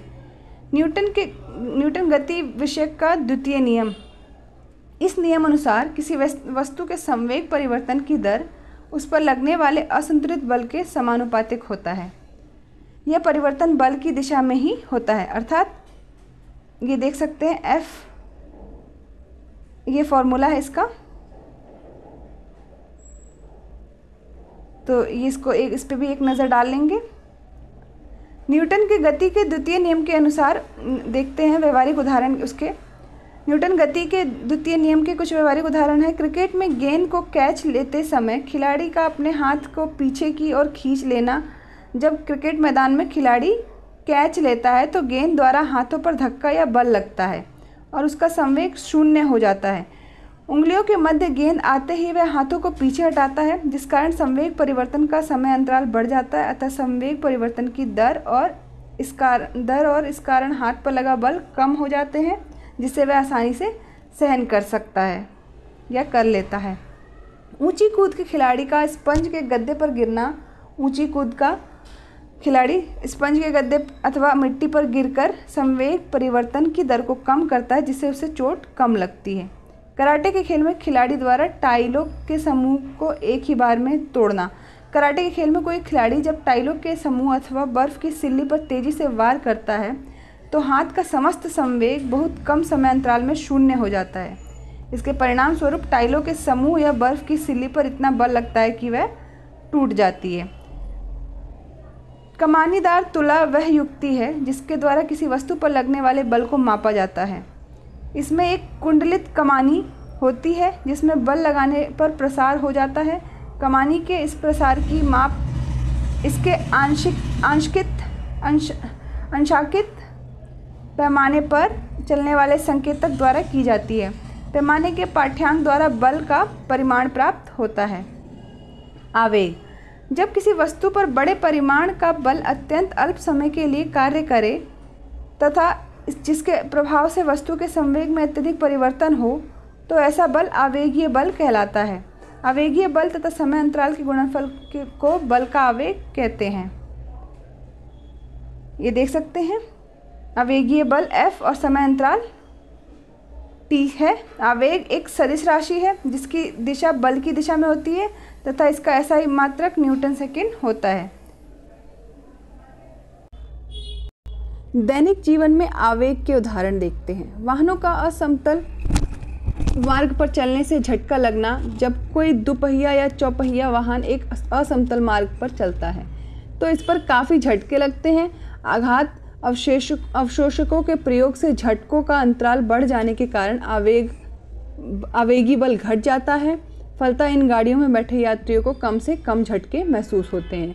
ऊंचाई से कूदने पर चोट का लगना। जब हम किसी ऊंचाई से पक्के फर्श पर कूदते हैं तो फर्श द्वारा हमारे पैर को दिए गए आवेग के कारण हमारा संवेग यकायक शून्य हो जाता है। यह आवेग अधिक बल का होता है, जिससे हमारे पैर में चोट लगने की संभावना बढ़ जाती है। परंतु यदि हम फर्श पर मिट्टी अथवा गद्दा बिछा लें तो हमारे पैर उसमें धंस जाएँगे, तथा संवेग के शून्य होने में कुछ कुछ देर लगेगी। अतः अब हमारे पैर को उतना ही आवेग एक छोटे बल से मिलेगा, जिससे कि पैर में चोट नहीं आएगी। मिट्टी के बर्तन या अन्य सामान को टूटने से बचाने के लिए घास का प्रयोग करना। चीनी मिट्टी के बर्तनों को कागज़ या घास फूस के टुकड़ों में पैक करके, पैक करते हैं, क्योंकि गिरने की स्थिति में घास, फूस या कागज़ के कारण आवेग चीनी मिट्टी के बर्तनों तक पहुँचने में अधिक समय लेता है, जिससे बर्तनों पर लगने वाला बल कम हो जाता है, अतः इन, अतः इनके टूटने की संभावना कम हो जाती है। न्यूटन का गति विषयक तृतीय नियम, इस नियम के अनुसार जब कोई वस्तु दूसरी वस्तु पर बल लगाती है, तब दूसरी वस्तु भी पहली वस्तु पर उतना ही बल विपरीत दिशा में लगाती है। अर्थात प्रत्येक क्रिया की एक समान व विपरीत दिशा में प्रतिक्रिया होती है। इसे क्रिया प्रतिक्रिया law of action and reaction भी कहते हैं।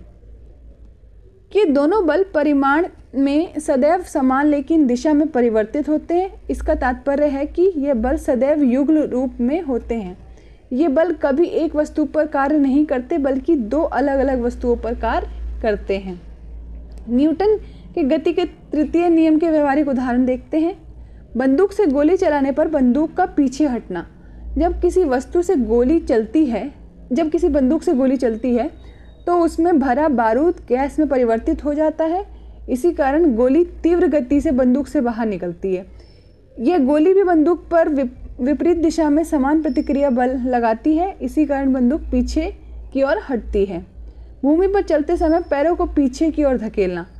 जब हम ठोस भूमि पर चलते हैं तो हम पैरों के द्वारा भूमि को पीछे की ओर धकेलते हैं, तथा भूमि भी प्रतिक्रिया के रूप में हमारे पैरों पर आगे की ओर उतना ही बल लगाती है, जिसके कारण हम आगे की ओर बढ़ते हैं। तैरते समय पानी को पीछे की ओर धकेलना। जब एक तैराक अपने हाथों द्वारा पानी को पीछे की ओर धकेलता है, तब पानी भी तैराक को उतने बल से आगे की ओर धकेलता है, जिससे तैराक पानी में आसानी से तैरने लगता है। रेत पर चलना।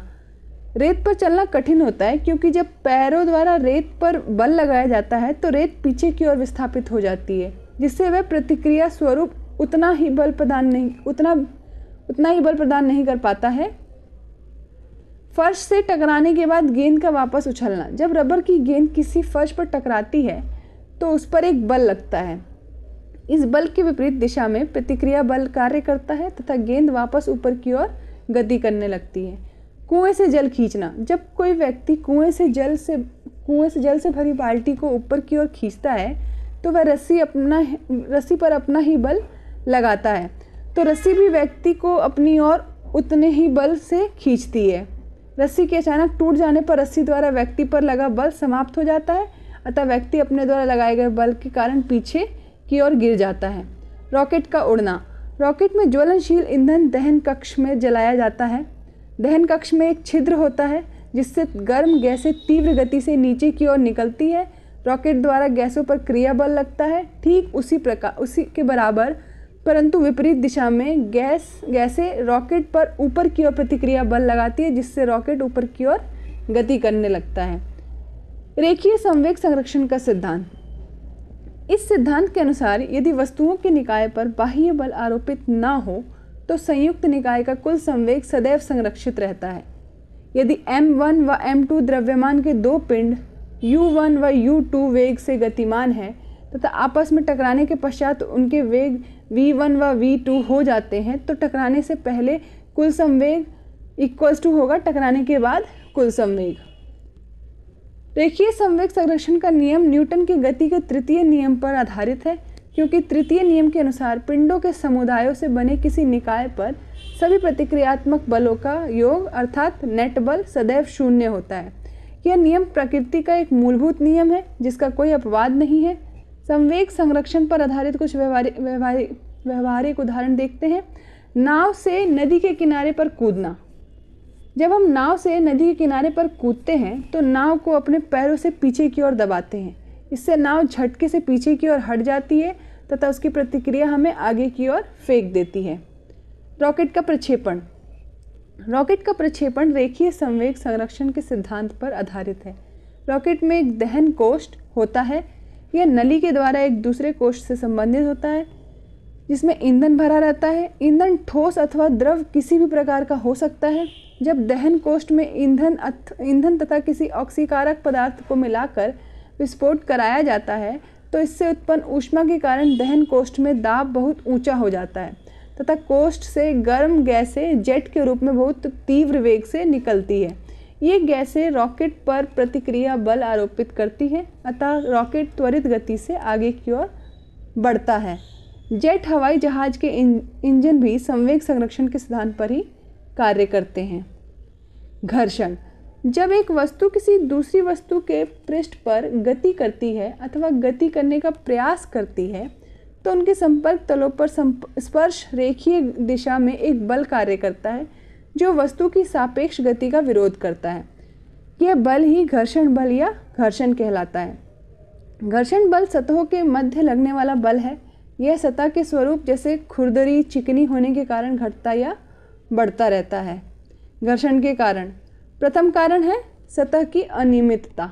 वस्तु की सतह चिकनी या खुरदरी किसी भी प्रकार की हो सकती है, लेकिन वस्तु की सतह पूर्णतः चिकनी कभी नहीं होती है। इसमें कई स्थानों पर अनियमितताएँ पाई जाती हैं, जो कि उभार तथा अवनमन के रूप में होती है।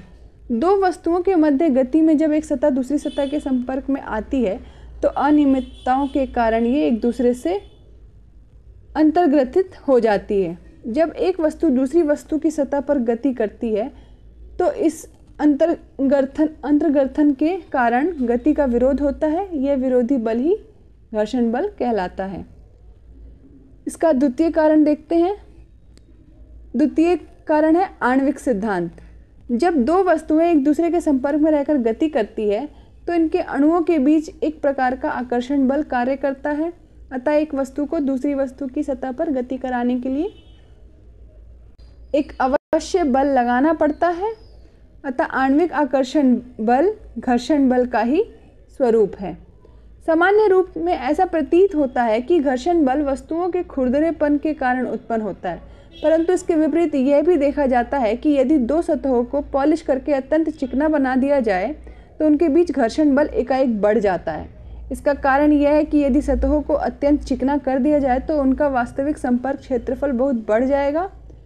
अनियमित उभार कम हो जाएँगे और दोनों वस्तुओं के अधिकाधिक अणु अणु एक दूसरे के संपर्क में आ जाएँगे और उनके बीच अधिकाधिक अंतरा अंतराण्विक बल क्रियाशील हो जाएगा। घर्षण के प्रकार। तीन प्रकार के होते हैं, स्थैतिक घर्षण, सीमांत घर्षण और गतिज घर्षण।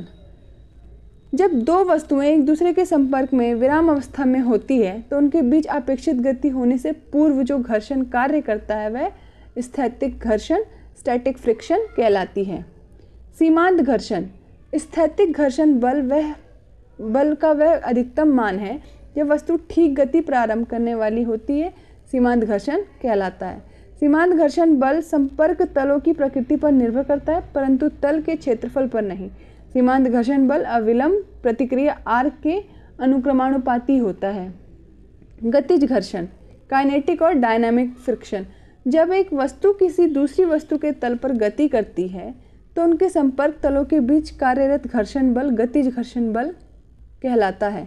गतिज घर्षण बल भी अविलंब प्रतिक्रिया आर के अनुक्रमानुपाती होता है, तथा यह गणिज तथा यह गतिज घर्षण संपर्क तलों के क्षेत्रफल पर निर्भर नहीं करता है।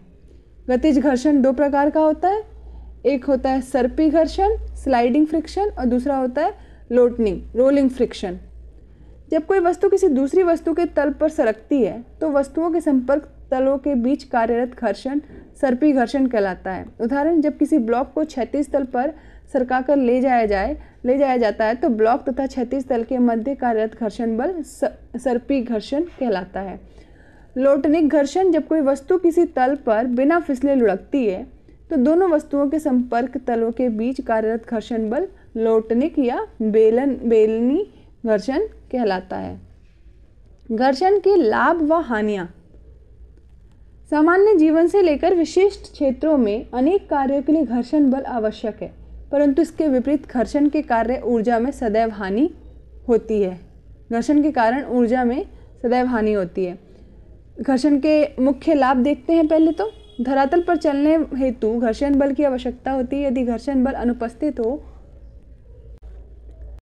तो व्यक्ति धरातल पर फिसल जाएगा। उदाहरण, यदि सड़क पर चलते हुए व्यक्ति के पैर के नीचे केले का छिलका आ जाता है तो व्यक्ति सड़क पर फिसल जाता है, क्योंकि केले के छिलके द्वारा पैर पर सड़क, पैर व सड़क के मध्य घर्षण बहुत कम हो जाता है।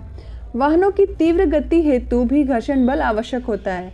यदि घर्षण बल उपस्थित न हो तो वाहन का गति करना संभव नहीं होगा। घर्षण की अनुपस्थिति में वाहनों में ब्रेक कार्य नहीं करते हैं, क्योंकि वाहन की गति को कम करना संभव नहीं होता है।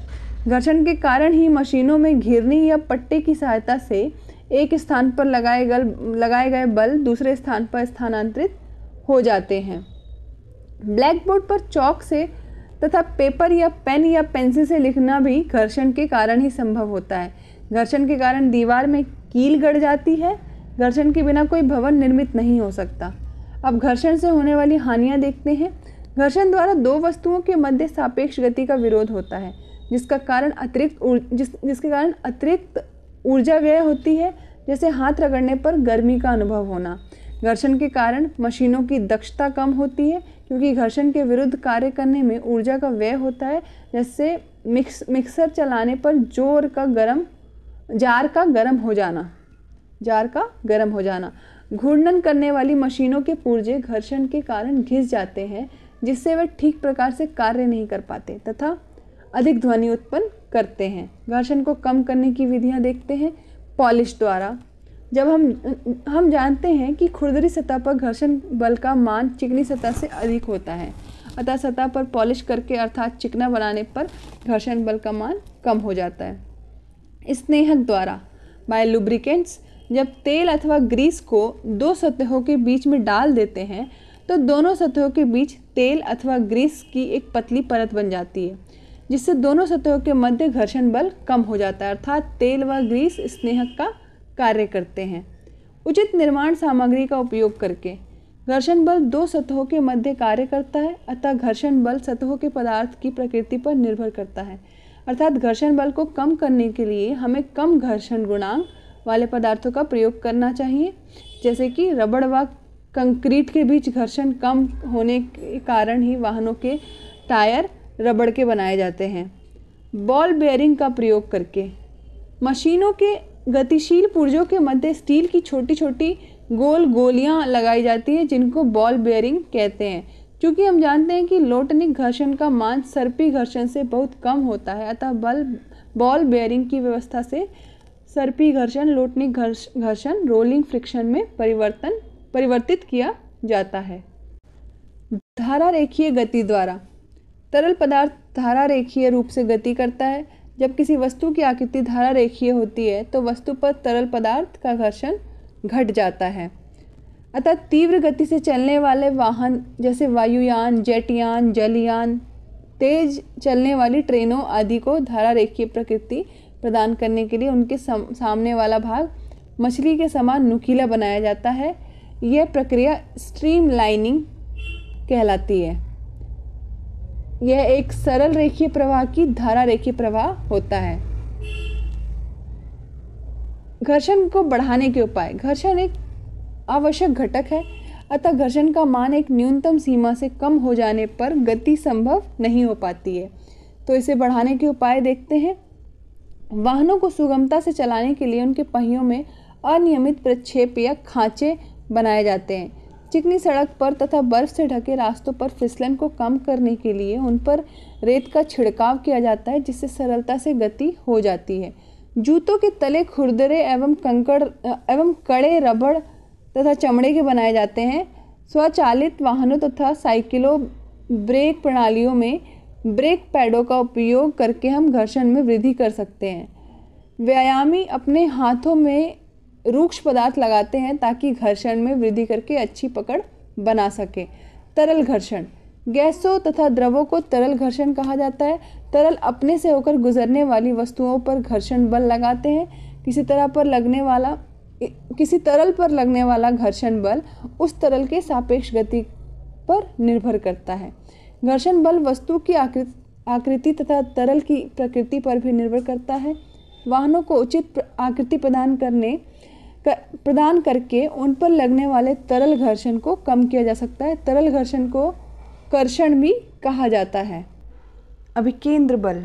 जब कोई पिंड या वस्तु वृत्तीय पथ पर एक समान चाल से गति करती है तो इसके वेग में परिवर्तन होने के कारण गतिमान पिंड पर अभिकेंद्र त्वरण कार्य करता है, जिसकी दिशा सदैव वृत्त के केंद्र की ओर होती है। न्यूटन के नियम अनुसार, त्वरण सदैव किसी बल से उत्पन्न होता है। तथा इस बल की दिशा वही होगी जो त्वरण की दिशा है।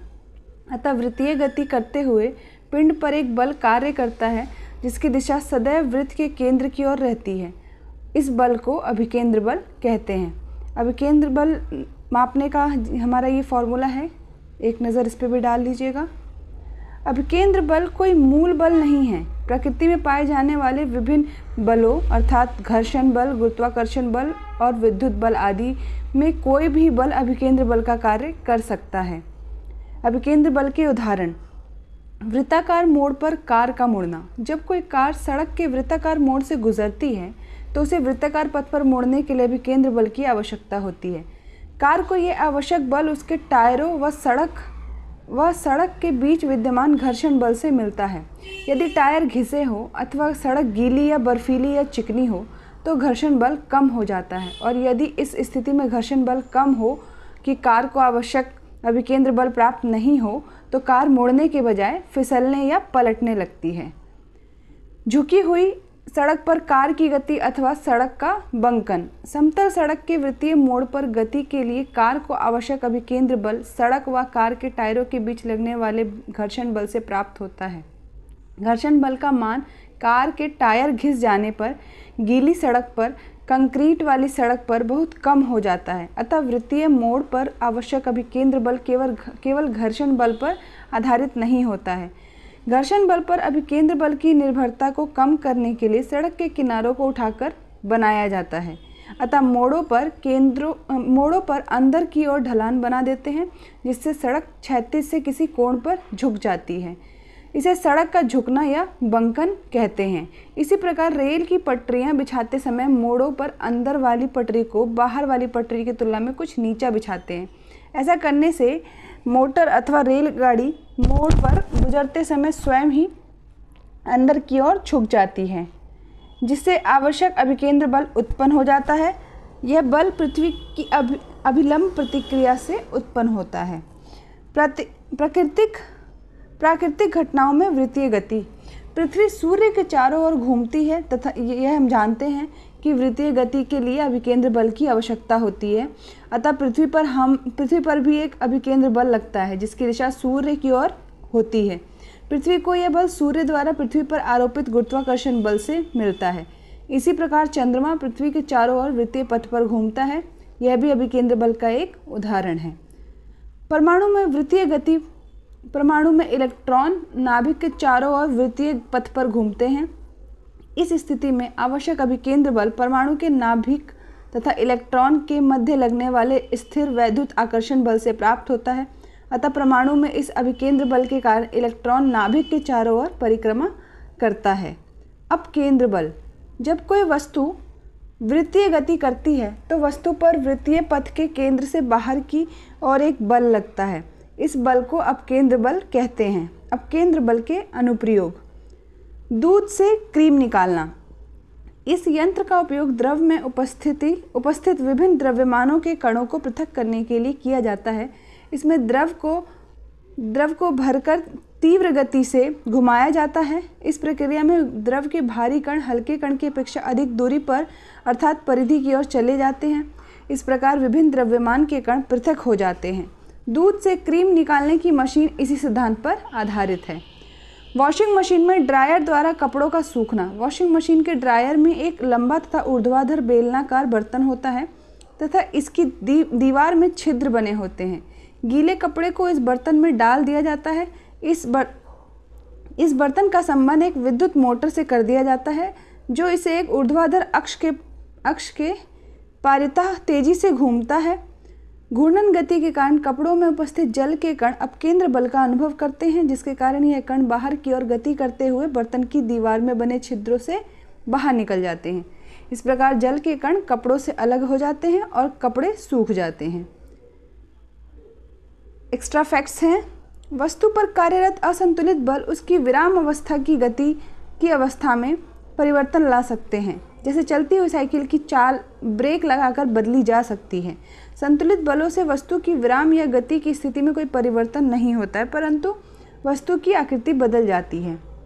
न्यूटन की गति के प्रथम नियम के अनुसार, किसी वस्तु पर लगा असंतुलित बाह्य बल संवेग में परिवर्तन कर सकता है।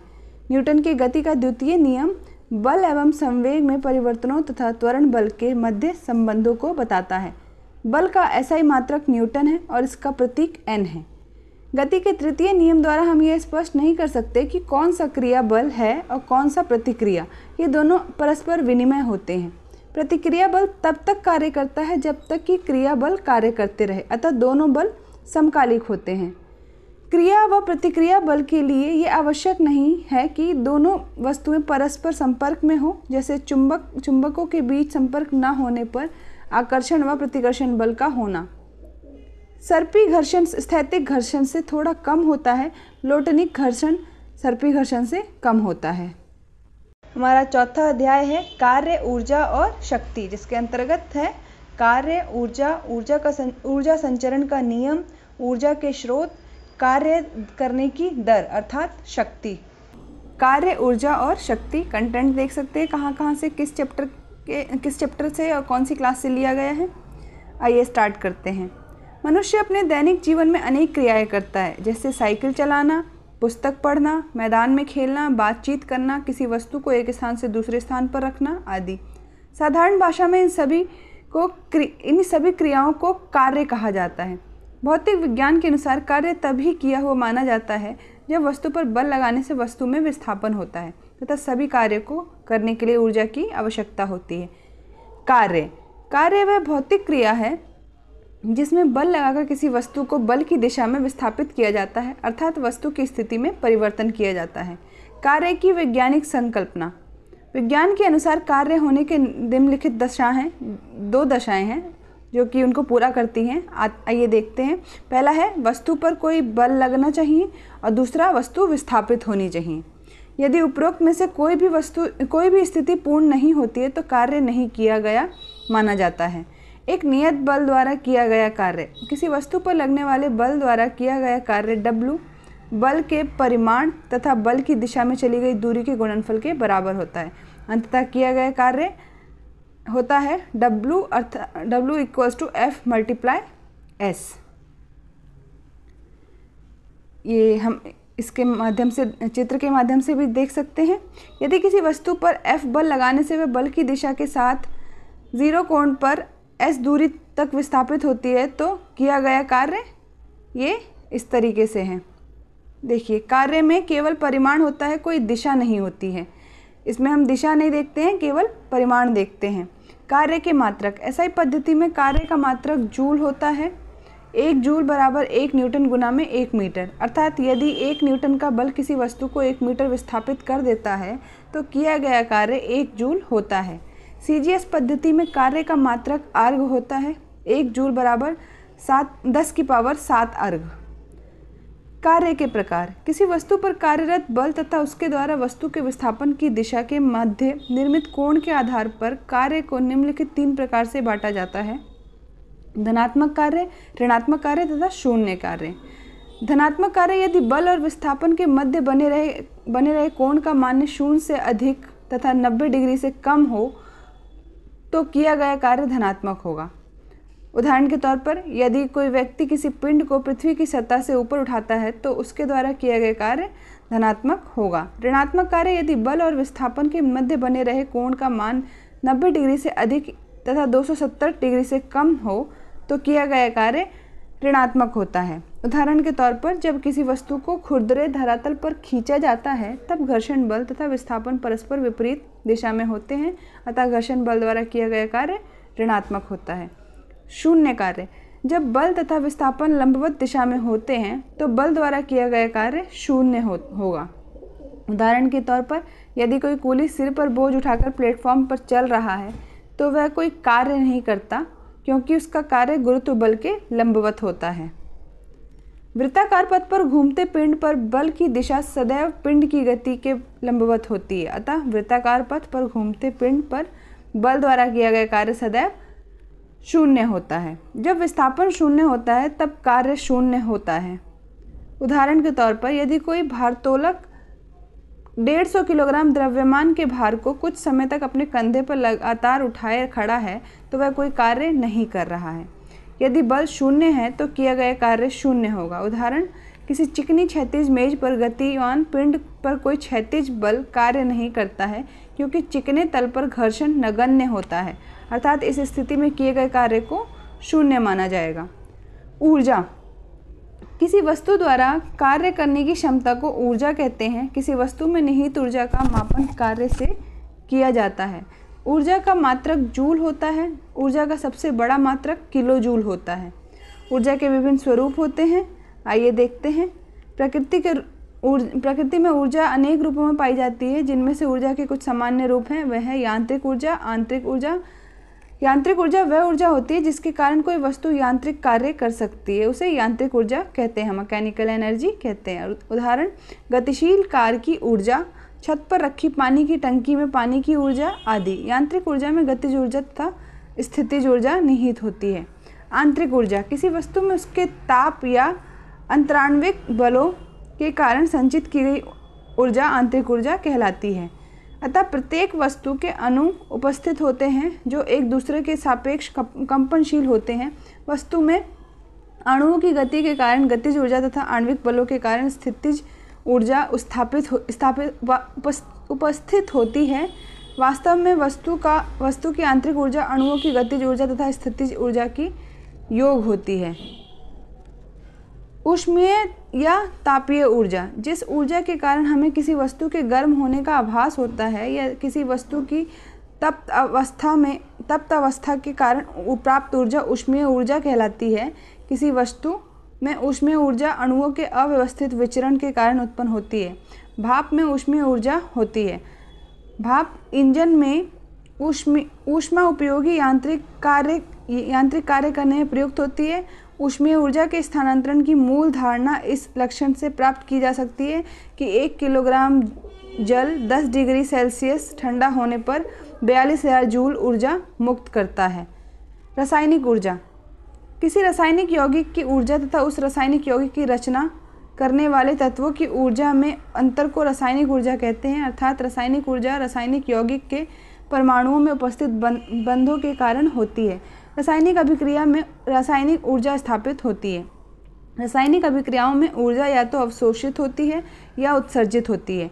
यदि रासायनिक अभिक्रिया में उपस्थित अभिकारकों की कुल ऊर्जा, उत्पादों की कुल ऊर्जा से कम होती है तो ऊर्जा का अवशोषण होता है तथा इसके विपरीत स्थिति में ऊर्जा का उत्सर्जन होता है। यह अभिक्रिया क्रमशः ऊष्माशोषी अथवा ऊष्माक्षेपी एक्सोथर्मिक और एंडोथर्मिक कहलाती है। विद्युत उदाहरण, विद्युत सेल की ऊर्जा, कोयले या तेल में निहित ऊर्जा जो उसके दहन करने पर प्राप्त होती है, आदि। विद्युत ऊर्जा। समान विद्युत आवेश एक दूसरे को प्रतिकर्षित तथा असमान विद्युत आवेश एक दूसरे को आकर्षित करते हैं, अर्थात आवेश एक दूसरे पर बल आरोपित करते हैं। अतः विद्युत क्षेत्र में विद्युत आवेश को एक बिंदु से दूसरे बिंदु तक ले जाने में कार्य करना पड़ता है। जो ऊर्जा के रूप में संचित होता है। उदाहरण, विद्युत मोटर, विद्युत बल्ब आदि। नाभिकीय ऊर्जा। किसी भी ऊर्जा के नाभिक का निर्माण न्यूट्रॉन तथा प्रोटॉन द्वारा होता है। न्यूट्रॉन तथा प्रोटॉन जिस ऊर्जा के माध्यम से नाभिक में संग्रहित रहते हैं, उसे नाभिकीय ऊर्जा कहते हैं। नाभिकीय ऊर्जा नाभिकीय संलयन तथा नाभिकीय विखंडन में व्यक्त होती है। विखंडन में एक भारी अस्थायी नाभिक जैसे यूरेनियम एक न्यूट्रॉन की बमबारी द्वारा हल्के नाभिकों में विभक्त हो जाता है। इस प्रकार में अंतिम तथा प्रारंभिक उत्पादों के द्रव्यमान में अंतर होता है और यह द्रव्यमान क्षति ऊर्जा में रूपांतरित हो जाता है। इसी प्रकार हाइड्रोजन के चार हल्के नाभिकों के संलयन द्वारा एक हीलियम बनता है, जिसका द्रव्यमान हाइड्रोजन के चारों नाभिकों की कुल द्रव्यमान के कुल द्रव्यमानों से कम होता है। प्रकाश ऊर्जा जिस ऊर्जा के कारण हमें वस्तुएँ स्पष्ट रूप से दिखाई देती है, प्रकाश ऊर्जा कहलाती है। उदाहरण, विद्युत, बल्ब, मोमबत्ती आदि से प्राप्त ऊर्जा। ध्वनि ऊर्जा।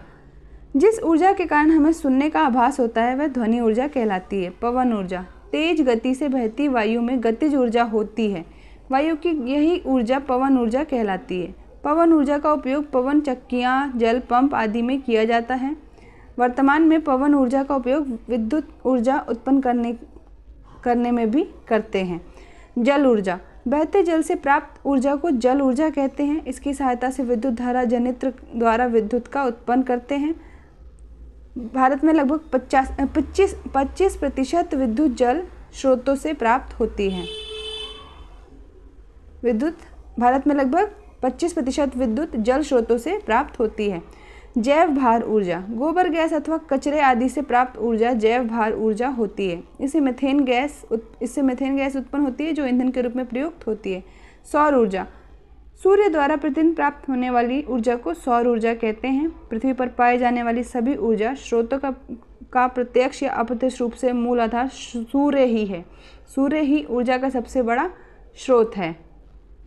द्रव्यमान ऊर्जा तुल्यता। एल्बर्ट आइंस्टीन ने प्रदर्शित किया कि द्रव्यमान और ऊर्जा एक दूसरे के तुल्य होते हैं तथा निम्नलिखित समीकरण द्वारा संबंधित होते हैं। E equals to M C square जहाँ C निर्वात में प्रकाश की चाल है जो लगभग 10 गुना, तीन गुना दस की पावर आठ मीटर के बराबर है। उपरोक्त समीकरण को द्रव्यमान ऊर्जा का समतुल्य संबंध कहते हैं। यदि वस्तु का द्रव्यमान एक किलोग्राम हो तो ऊर्जा E equals to one multiply C की सी स्क्वायर अर्थात एक गुना में तीन मल्टीप्लाई दस की पावर आठ का स्क्वायर, नौ गुना, अर्थात नौ गुना में दस की पावर सोलह सोलह जूल होता है। अर्थात ऊर्जा व द्रव्यमान एक दूसरे में परिवर्तनीय हैं। यांत्रिक ऊर्जा के प्रकार। यांत्रिक ऊर्जा दो प्रकार की होती है, जो कि निम्न है। गतिज ऊर्जा। किसी गतिशील वस्तु में उसकी गति के कारण निहित ऊर्जा को गतिज ऊर्जा, काइनेटिक एनर्जी कहते हैं। गतिज गतिज ऊर्जा का मान सदैव घनात्मक होता है। किसी निश्चित वेग से गतिशील वस्तु की गतिज ऊर्जा उस वस्तु पर इस वेग को प्राप्त करने के लिए किए गए कार्य के बराबर है। यह एक अदिश राशि है।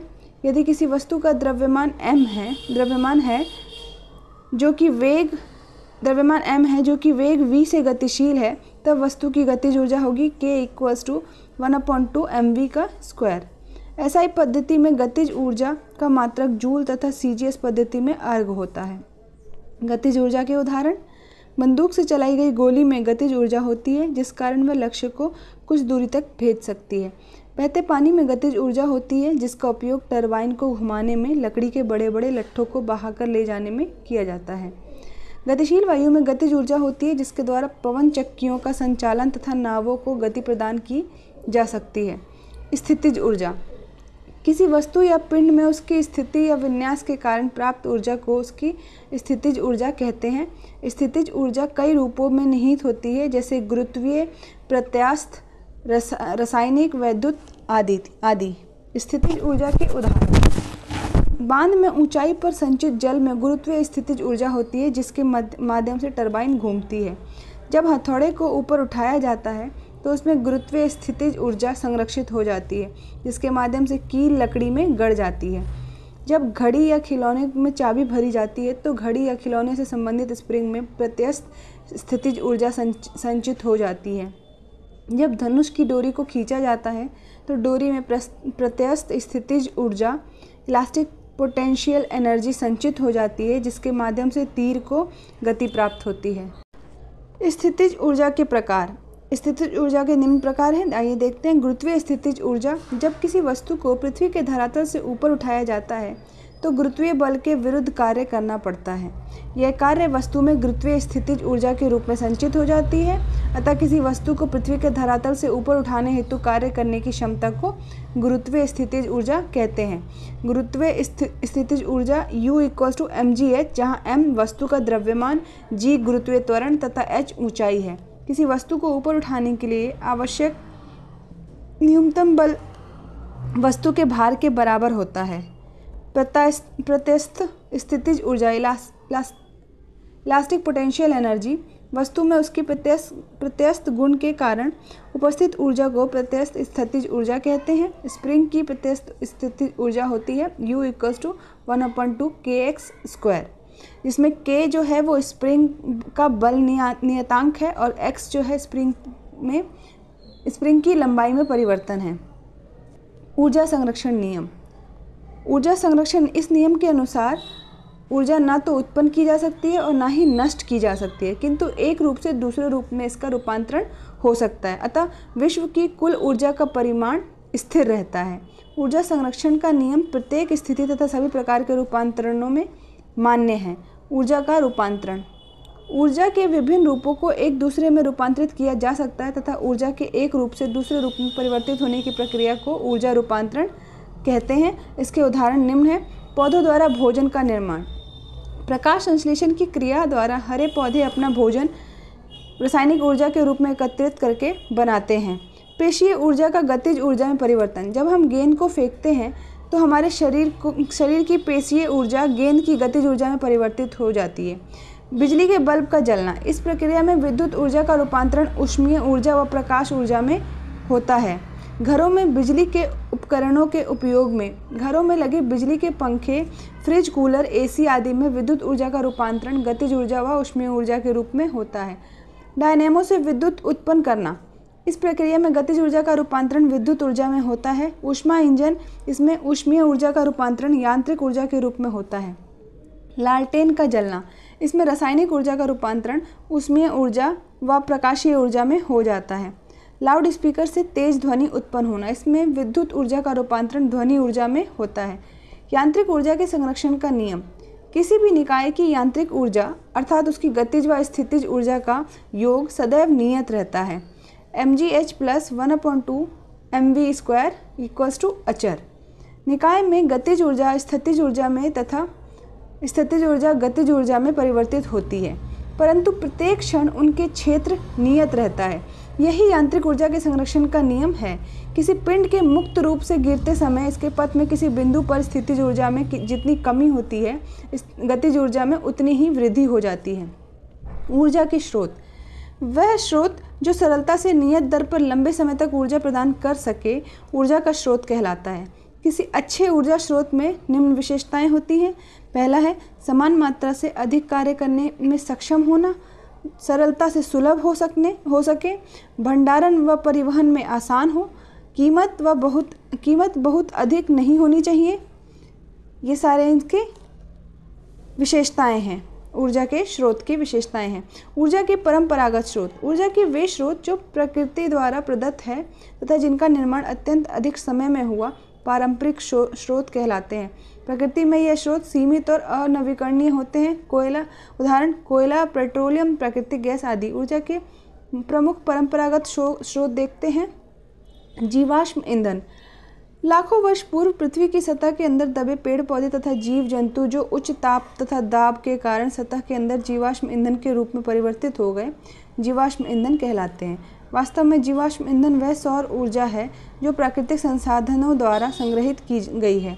कोयला पेट्रोलियम पदार्थ तथा प्राकृतिक गैस सबसे अधिक उपयोग में लिए जाने वाले जीवाश्म ईंधन है। जीवाश्म ईंधन बनने की क्रिया जीवाश्मीकरण कहलाती है।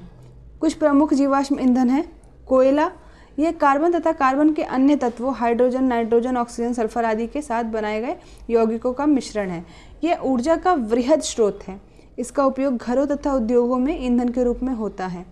पेट्रोलियम, ये काले रंग का एक विशेष गंध वाला अपरिष्कृत तेल है, जो हाइड्रोकार्बन का सम्मिश्रण होता है। इसमें पानी, लवण तथा पृथ्वी के कण के अतिरिक्त ऑक्सीजन, नाइट्रोजन तथा गंधक यौगिक भी मिश्रित होते हैं। इसका उपयोग मुख्य रूप से वाहनों में किया जाता है। प्राकृतिक गैस। प्राकृतिक गैस एक महत्वपूर्ण स्वच्छ ऊर्जा संसाधन है। यह जलने पर कम कार्बन और प्रदूषक उत्पन्न करता है। कोयला और पेट्रोलियम उत्पादों की तुलना में यह हानिकारक गैसों और अन्य प्रदूषकों के कम उत्सर्जन के साथ जलती है। यह पेट्रोकेमिकल उद्योगों को संचालित करने के लिए ऊर्जा प्रदान करती है। इसके अतिरिक्त ये खाना पकाने और ऑटोमोबाइल के लिए ईंधन के रूप में प्रयोग की जा रही है। ऊर्जा और उर्वरक उद्योग प्राकृतिक गैस के प्रमुख प्रयोगता हैं। गाड़ियों में इसका प्रयोग संपीड़ित प्राकृतिक गैस के रूप में हो रहा है, जो बहुत लोकप्रिय है। तापीय विद्युत संयंत्र। विद्युत संयंत्रों में प्रतिदिन विशाल मात्रा में जीवाश्म ईंधन का दहन करके जल उबाल कर भाप बनाई जाती है, जो टरबाइनों को घुमाकर विद्युत उत्पन्न करती है। समान दूरियों तक कोयले तथा पेट्रोलियम के परिवहन की तुलना में विद्युत संचरण अधिक दक्ष होता है यही कारण है कि बहुत से तापीय विद्युत संयंत्र कोयले संयंत्र कोयले तथा तेल के क्षेत्रों के निकट स्थापित किए गए हैं। इन संयंत्रों को तापीय विद्युत संयंत्र कहने का कारण यह है कि इन संयंत्रों में ईंधन के दहन द्वारा ऊष्मीय ऊर्जा उत्पन्न की जाती है, जिसे विद्युत ऊर्जा में रूपांतरित किया जाता है। जल विद्युत संयंत्र, ऊर्जा का एक अन्य पारंपरिक स्रोत, बहते जल की गतिज ऊर्जा अथवा किसी ऊंचाई पर स्थित जल की स्थितिज ऊर्जा है। जल विद्युत संयंत्रों में गिरते जल की स्थितिज ऊर्जा को विद्युत में रूपांतरित किया जाता है, चूँकि ऐसे जल प्रपातों की संख्या बहुत कम है जिनका उपयोग स्थितिज ऊर्जा के स्रोत के रूप में किया जा सके, अतः जल विद्युत संयंत्री को बांधों से संबद्ध किया गया है। जल विद्युत उत्पादन का सिद्धांत। जल विद्युत उत्पन्न करने के लिए नदियों को रोककर बड़े जलाशयों में जल एकत्र करने के लिए ऊँचे ऊँचे बाँध बनाए जाते हैं। इन जलाशयों को जल संचित, इन जलाशयों में जल संचित होता रहता है, जिसके फलस्वरूप इनमें भरे जल का तल ऊँचा हो जाता है। बाँध के ऊपरी भाग से पाइपों द्वारा जल बाँध के आधार के पास स्थापित टरबाइन के ब्लेडों पर मुक्त रूप से गिरता है। फलस्वरूप टरबाइन के ब्लेड घूर्णन गति करते हैं और जनित्र द्वारा विद्युत उत्पन्न होता है। ऊर्जा के पारंपरिक स्रोतों स्रोतों के उपयोग के लिए प्रौद्योगिकी में सुधार। यंत्र विज्ञान में विभिन्न स्रोतों की सहायता से सुधार किया जा सकता है। जैव मात्रा। यह पारंपरिक यह परंपरागत ऊर्जा का स्रोत है, जैसे लकड़ी, फ़सलों के अवशेष, गन्ने के छिलके, गाय के गोबर के उपले आदि को घरों तथा उद्योगों में ईंधन के रूप में उपयोग में लिया जाता है, जैसे, जिसे जैव मात्रा कहते हैं। जैव मात्रा का उपयोग विद्युत के उत्पादन में भी किया जाता है। लकड़ी का कोयला। यह लकड़ी को नियंत्रित हवा की उपस्थिति में जलाकर प्राप्त किया जाता है। इसकी तापीय या उष्मीय क्षमता लकड़ी से अधिक होती है तथा अपेक्षाकृत कम धुआँ उत्पन्न करता है। बायोगैस। गोबर फ़सलों के कटने के पश्चात बचे अपशिष्ट सब्जियों के अपशिष्ट जैसे विविध पादप तथा वाहित मल आदि के ऑक्सीजन का, की अनुपस्थिति में अपघटित होकर बायोगैस प्राप्त होती है। इस गैस को बनाने में उपयोग होने वाला आरंभिक पदार्थ मुख्यतः गोबर होता है, इसलिए इसे गोबर गैस भी कहते हैं। बायोगैस संयंत्र। बायोगैस बनाने में जिस संयंत्र का उपयोग करते हैं, वह बायोगैस संयंत्र कहलाता है। इसका आकार गुंबद की आकृति का होता है, जो ईंटों से बना होता है। बायोगैस संयंत्र के मुख्य भाग निम्न हैं। निर्गत कक्ष, आउटपुट चैम्बर्स या स्लेरी को बाहर निकालने का कक्ष है। प्राप्त अवशेष का उपयोग खाद के रूप में किया जाता है, क्योंकि इसमें नाइट्रोजन के यौगिक उपस्थित होते हैं। मिश्रण टैंक, पशुओं को, पशुओं का गोबर तथा पानी मिलाकर मिश्रण टैंक में स्लेरी तैयार किया जाता है। गैस टैंक, जैव गैस को सम संपाचित्र के रूप में बनी गैस टंकी में संचित किया जाता है तथा गैस का उपयोग के लिए पाइपों द्वारा बाहर निकाल निकाल लिया जाता है। आंतरिक कक्ष। ये मिशन कक्ष को संपाचित संपाचित्र कक्ष से जोड़ता है। इसमें एक स्लोप बना होता है, जिससे स्लेरी आसानी से संपाचित्र कक्ष में पहुँच जाती है। संपाचित्र कक्ष। ये चारों ओर से एक बंद कक्ष होता है, जिसमें ऑक्सीजन नहीं होती है। अवायवीय सूक्ष्म जीव जिन्हें जीवित रहने के लिए ऑक्सीजन की आवश्यकता नहीं होती है, गोबर की स्लेरी के जटिल यौगिकों का अपघटन कर बायोगैस का निर्माण करते हैं। इस प्रक्रिया को पूरा होने में कुछ दिन का समय लगता है। पवन ऊर्जा, गतिशील हवा को पवन कहते हैं। वायु की तीव्र गति के कारण इसमें गतिज ऊर्जा होती है। इस गतिज ऊर्जा का उपयोग निम्न कार्य कार्यों में किया जाता है।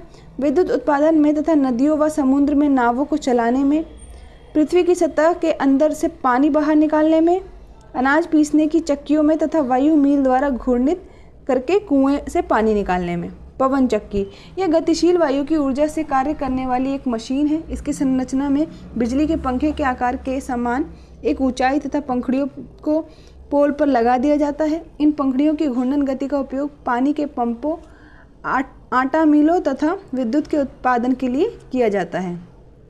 पवन ऊर्जा फार्म व्यापारिक स्तर पर विद्युत ऊर्जा का वायु से उत्पादन करने के लिए पवन चक्कियाँ अधिक संख्या में एक वृहद क्षेत्र में लगा दी जाती हैं। यह क्षेत्र पवन ऊर्जा फार्म कहलाता है। ऊर्जा की गैर परंपरागत स्रोत। प्रौद्योगिकी में उन्नति के साथ ही हमारी ऊर्जा की मांग में दिन प्रतिदिन वृद्धि हो रही है। हमारी जीवन शैली में भी निरंतर परिवर्तन हो रहा है। हम अपने कार्य को करने के लिए अधिकाधिक मशीनों का उपयोग करते हैं, जैसे कि औद्योगिकरण से हमारा, जैसे जैसे औद्योगिकरण से हमारा जीवन स्तर उन्नत हो रहा है, वैसे वैसे हमारी मूल आवश्यकताओं में भी निरंतर वृद्धि हो रही है। जैसे जैसे हमारी ऊर्जा की मांग में वृद्धि होती जा रही है, वैसे वैसे ही हमें अधिक ऊर्जा स्रोतों की आवश्यकता होती है, अतः आवश्यक ऊर्जा की पूर्ति के लिए ऊर्जा के गैर परंपरागत स्रोतों को खोजने की आवश्यकता है। कुछ गैर परंपरागत ऊर्जा के स्रोत। सौर ऊर्जा सूर्य की विकिरण से प्राप्त ऊर्जा सौर ऊर्जा कहलाती है, जिससे ऊष्मा तथा प्रकाश प्राप्त होता है। सूर्य की सतह के अंदर नाभिकीय संलयन के द्वारा इस ऊर्जा का का उत्पादन ऊष्मा तथा प्रकाश के रूप में होता है। सौर ऊर्जा का केवल एक लघु भाग ही पृथ्वी के वायुमंडल की बाह्य परतों पर पहुँच पाता है। इसका लगभग आधा भाग वायुमंडल से गुजरते समय अवशोषित हो जाता है तथा शेष भाग पृथ्वी के पृष्ठ पर पहुँचता है। हमारा देश प्रतिवर्ष पाँच करोड़ किलोवाट घंटा सौर ऊर्जा प्राप्त करता है। स्वच्छ आकाश की स्थिति में पृथ्वी के किसी क्षेत्र के प्रतिदिन प्राप्त होने वाली सौर ऊर्जा का औसत परिमाण चार से सात किलोवाट पर आवर मीटर के स्क्वायर के बीच, मीटर स्क्वायर के बीच होता है। सौर ऊर्जा के लाभ इससे प्रदूषण नहीं होता है। यह हमारे देश में प्रचुर मात्रा में उपलब्ध है। ग्रीष्म देशों की भांति यह मूल्य रहित है। इसका व्यवहारिक उपयोग किया जा सकता है। सौर ऊर्जा ऊर्जा की कुछ सीमाएँ भी हैं। पृथ्वी की सतह पर पहुँचने वाली सौर ऊर्जा धुंधली होती है, अतः इसका प्रत्यक्ष रूप से उपयोग सीमित है।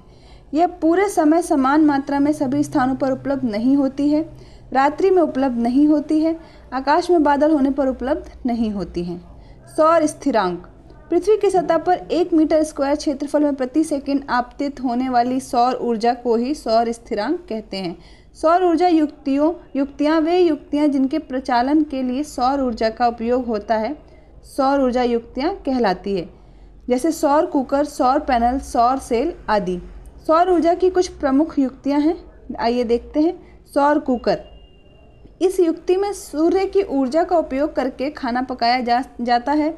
इसमें एक पृथकृत धातु का बक्सा या लकड़ी का बक्सा होता है, जिसको अंदर से काला पेंट कर दिया जाता है, जिससे यह अधिकतम सूर्य के विकिरण को अवशोषण कर सके। इस बॉक्स के ऊपर एक कांच की पतली आवरण होती है। बॉक्स में एक समतल दर्पण को परावर्तक के रूप में लगा दिया जाता है। कुछ सौर कुकर में अवतल दर्पण का उपयोग करके सूर्य की किरणों को फोकसित किया जाता है। ये देख सकते हैं हम, सौर कुकर किस तरह से बनाया जाता है। सौर कुकर के जो लाभ हैं, वह यह ईंधन बचाता है, इससे प्रदूषण नहीं होता है, इसमें खाना पकने की क्रिया धीमी होती है, अतः खाना, खाने में पोषक तत्व नष्ट नहीं होते हैं। यह एक समय में चार प्रकार के व्यंजन पका सकता है। सौर कुकर की भी कुछ सीमाएँ हैं। इसका प्रयोग आकाश में बादल होने पर या रात्रि में नहीं किया जा सकता है। इसका उपयोग रोटियाँ बनाने या किसी खाने को तलने के लिए नहीं किया जा सकता है। सौर कुकर की दिशा समय समय पर परिवर्तित करनी पड़ती है, जिससे यह अधिकतम समय तक सूर्य की ओर रहे। सौर सौर सेल। ऊर्जा को विद्युत सौर सेल ऊर्जा को विद्युत ऊर्जा में रूपांतरित करते हैं। धूप में रखे जाने पर किसी प्रारूपी सौर सेल में सौर सेल से ज़ीरो दशमलव पाँच से एक दशमलव, एक वोल्ट तक वोल्टता विकसित होती है। लगभग, तथा लगभग ज़ीरो दशमलव सात वोल्ट विद्युत उत्पन्न कर सकते हैं। सौर सेल बनाने के लिए सिलिकॉन सिलिकॉन अर्धचालक का उपयोग किया जाता है। यह वातावरण के अनुकूल है तथा कोई प्रदूषण उत्पन्न नहीं करता है। इसको बनाने की प्रक्रिया बहुत महँगी होती है। सौर सेल के उपयोग उपयोग जो हैं, देखते हैं। सड़कों पर प्रकाश के लिए ट्रैफ़िक सिग्नल में तथा पानी के पंपों में, समुद्र स्थित प्रकाश स्तंभों को बिजली देने में, दूरस्थ स्थानों में रेडियो तथा टीवी के संचारण में इलेक्ट्रॉनिक घड़ियों तथा संगणकों को प्रचालित करने में, कृत्रिम उपग्रहों में उपग्रहों में, विद्युत प्रदान करने में और खिलौनों में। सौर पैनल। जब बहुत सारे सौर सेलों को एक क्रम में संयोजित कर दिया जाता है तो सौर संयोजन सौर पैनल कहलाता है। इससे प्राप्त विद्युत वाहक बल का मान अधिक होता है तो धारा का मान भी अधिक प्राप्त होता है। यह व्यवस्था सौर पैनल कहलाती है। इससे प्राप्त विद्युत शक्ति का उपयोग व्यवहारिक रूप से किया जाता है, लेकिन लेकिन सेलों को एक दूसरे से संयोजित करने के लिए चांदी की आवश्यकता होती है। अतः यह महँगी प्रक्रिया होती है। समुद्र से प्राप्त ऊर्जा। समुद्र एक नवीकरणीय ऊर्जा का स्रोत है। समुद्र से प्राप्त ऊर्जा के अनेक प्रारूप हैं। आइए देखते हैं इसमें ज्वारीय ऊर्जा। टाइडल एनर्जी घूर्णन गति करती पृथ्वी पर मुख्य रूप से चंद्रमा के गुरुत्वीय खिंचाव के कारण सागरों में जल का स्तर चढ़ता व गिरता है। इस परिघटना को ज्वार भाटा कहते हैं। ज्वार भाटा में जल के स्तर के चढ़ने तथा गिरने से हमें ज्वारीय ऊर्जा प्राप्त होती है। ज्वारीय ऊर्जा का दोहन सागर के किसी संकीर्ण क्षेत्र पर बाँध का निर्माण करके किया जाता है।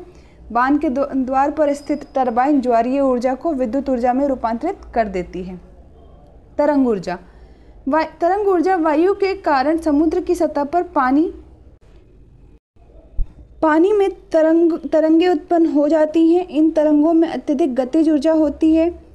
इस ऊर्जा का उपयोग अनेक युक्तियों में, जैसे जनित्र की टरबाइन के घूर्णन में तथा विद्युत के उत्पादन में किया जाता है। महासागरीय तापीय ऊर्जा।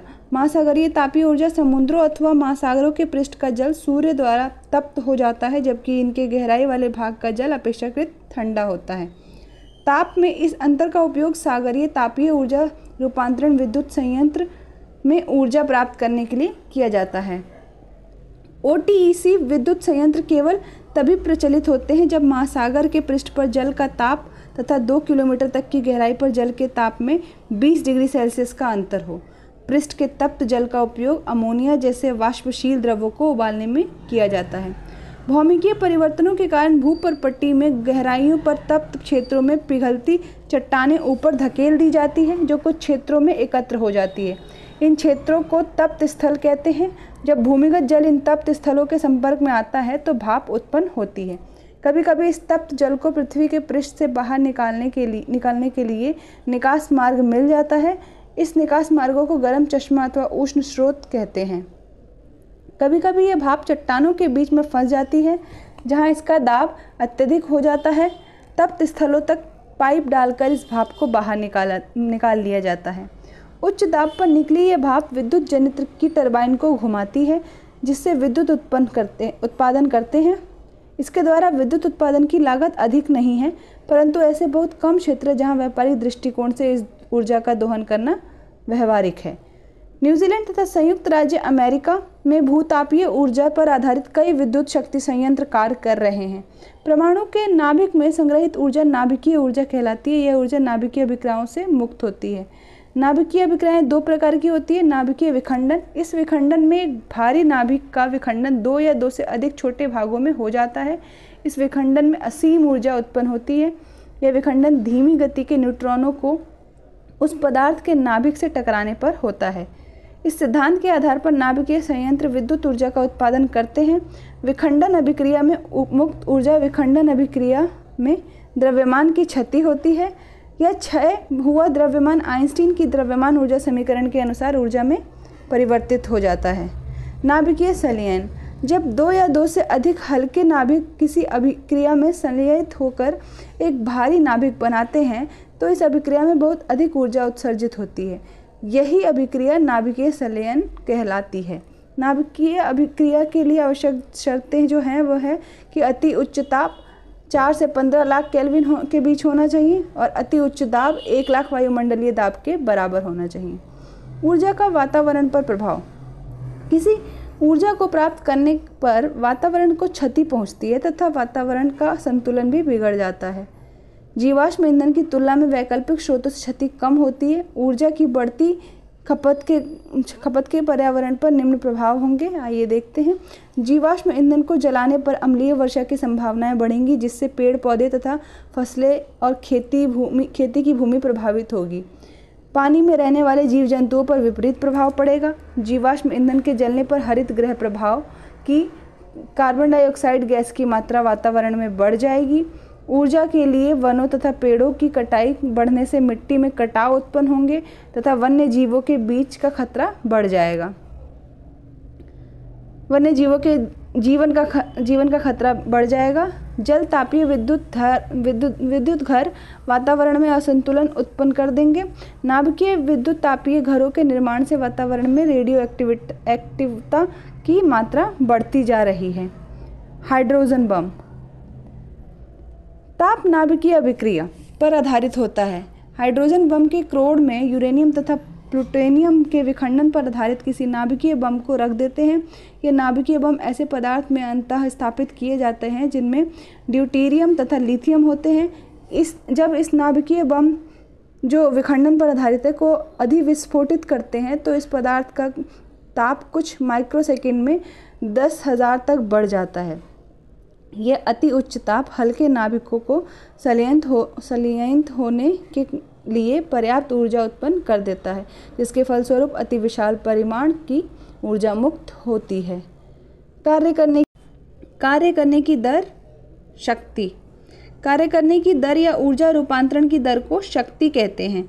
यदि कोई कर्ता टी समय में डब्लू कार्य करता है तो शक्ति बराबर कार्य बट्टा में समय होता है। शक्ति का मात्रक वॉट है तथा वॉट का प्रतीक डब्लू है, जबकि जेम्स वॉट के के सम्मान में, जो कि जेम्स वॉट के सम्मान में रखा गया है।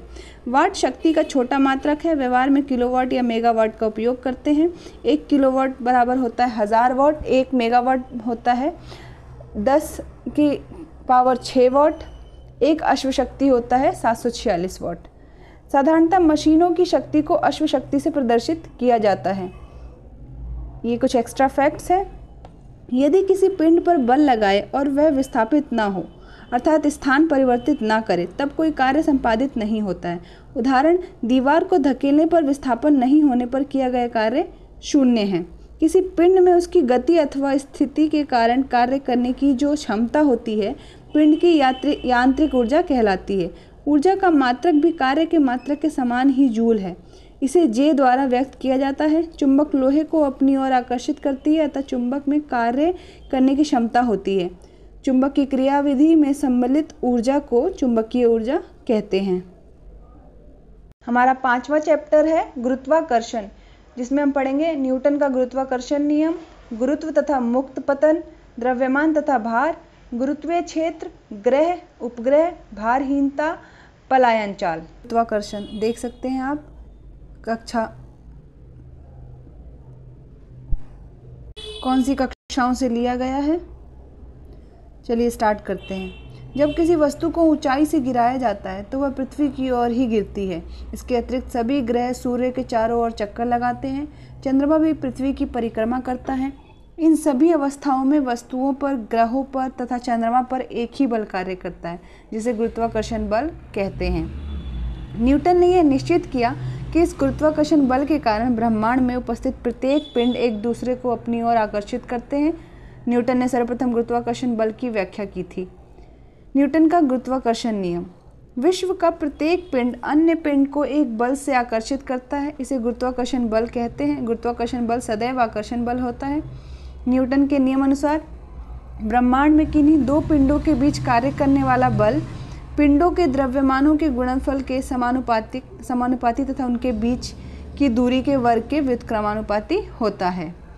किन्हीं दो एक समान पिंडों के बीच गुरुत्वाकर्षण बल उनके केंद्रों को मिलाने वाली रेखा की दिशा में निर्देशित होता है। यदि वे दो पिंड के द्रव्यमान m1 और m2 हों तथा उनके बीच की दूरी आर हो तो उनके बीच गुरुत्वाकर्षण बल होता है। ये हम देख सकते हैं formula F equals to G M one one multiply G M two बटे में आर का स्क्वायर यहाँ जी एक नियतांक है, जिसे गुरुत्वाकर्षण नियतांक कहते हैं। जी का मान पिंडों की प्रकृति, उनके द्रव्यमान, उनके मध्य की दूरी, माध्यम, समय आदि पर निर्भर नहीं करता है, तथा ब्रह्मांड के सभी पिंडों के लिए समान होता है। अतः इसे अतः इसे सर्वात्रिक गुरुत्वाकर्षण नियतांक भी कहा जाता है। जी का मान हेनरी कैवेंडिश ने सुग्राही तुला द्वारा ज्ञात किया। इसका मान छः दशमलव छः सात गुना में दस की power minus eleven newton metre square kilogram square होता है। गुरुत्वाकर्षण नियतांक उस आकर्षण बल के बराबर होता है, जो एक दूसरे से एकांक दूरी पर रखे एकांक द्रव्यमान वाले दो कणों के बीच कार्य करता है। गुरुत्वाकर्षण के सर्वात्रिक नियम का महत्व गुरुत्वाकर्षण सर्वात्रिक नियम ऐस अनेक ऐसी परिघटनाओं की सफलतापूर्वक व्याख्या करता है, जो असंबद्ध मानी जाती है। उदाहरण के तौर पर है, हमें पृथ्वी से बांधे रखने वाला बल, पृथ्वी के चारों ओर चंद्रमा की गति, सूर्य के चारों ओर ग्रहों की गति, चंद्रमा तथा सूर्य के कारण ज्वार भाटा, गुरुत्व तथा मुक्त पतन। गुरु, न्यूटन के गुरुत्वाकर्षण गुरुत्वाकर्षण नियम के अनुसार, गुरुत्वाकर्षण वह आकर्षण बल है, जो किन्हीं दो वस्तुओं के बीच कार्य करता है। यदि इन वस्तुओं से, वस्तुओं में एक वस्तु पदार्थ हो तो गुरुत्वाकर्षण को गुरुत्व कहते हैं। जब वस्तुएँ पृथ्वी की ओर केवल, पृथ्वी के गुरुत्वाकर्षण बल के कारण गिरती है तो वस्तुओं की ऐसी गति मुक्त पतन कहलाती है। पृथ्वी का गुरुत्वीय त्वरण। जब कोई वस्तु पृथ्वी की ओर मुक्त रूप से छोड़ी जाती है तो वह पृथ्वी के गुरुत्व बल के कारण नीचे की ओर गिरने लगती है। जैसे जैसे वस्तु नीचे की ओर गिरती है वैसे वैसे उसका वेग बढ़ता चला जाता है। परंतु वेग की दिशा में कोई परिवर्तन नहीं होता है। वस्तु के वेग में परिवर्तन के कारण त्वरण उत्पन्न होता है, जिसे गुरुत्व बल द्वारा उत्पन्न त्वरण तथा गुरुत्वीय त्वरण कहते हैं। इसे जी से प्रदर्शित करते हैं। स्मॉल जी से। पृथ्वी के गुरुत्वीय त्वरण के मान में परिवर्तन। जी का प्रमाणिक मान 9.8 मीटर सेंटीमीटर स्क्वायर होता है। यह मान समुद्र तल तथा 45 डिग्री अक्षांश पर होता है। जी के मान में परिवर्तन, में कुछ परिवर्तन होते रहते हैं, जो कि है, पृथ्वी की सतह से ऊपर जाने पर जी का मान घटता है। पृथ्वी की सतह से नीचे जाने पर जी का मान घटता है।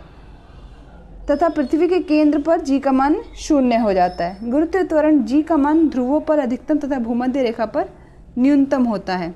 यदि पृथ्वी अपने अक्ष के पारिता अपने तेज़ी से, और तेज़ी से घूमना प्रारंभ कर दे तो जी का मान घट जाएगा। यदि पृथ्वी वर्तमान में सत्रह गुना अधिक तेज़ी से घूमने लगे तो भूमध्य रेखा पर रखी वस्तु का भार शून्य प्रतीत होने लगेगा। कैपिटल जी तथा स्मॉल जी में संबंध। यदि पृथ्वी का द्रव्यमान एम और त्रिज्या आर हो तो पृथ्वी की सतह पर या उससे कुछ ऊंचाई पर स्मॉल एम द्रव्यमान की वस्तु पर न्यू, न्यूटन के गुरुत्वाकर्षण नियम के अनुसार पृथ्वी पर लगाए जाने वाला बल, गुरुत्व बल होगा। Capital F equals to capital G capital M small M बटे में आर कैपिटल आर का स्क्वायर यह वस्तु की पृथ्वी के केंद्र से दूरी लगभग, यहाँ वस्तु से पृथ्वी के केंद्र से दूरी लगभग पृथ्वी की त्रिज्या के बराबर मानी जा सकती है. ये देख सकते हैं।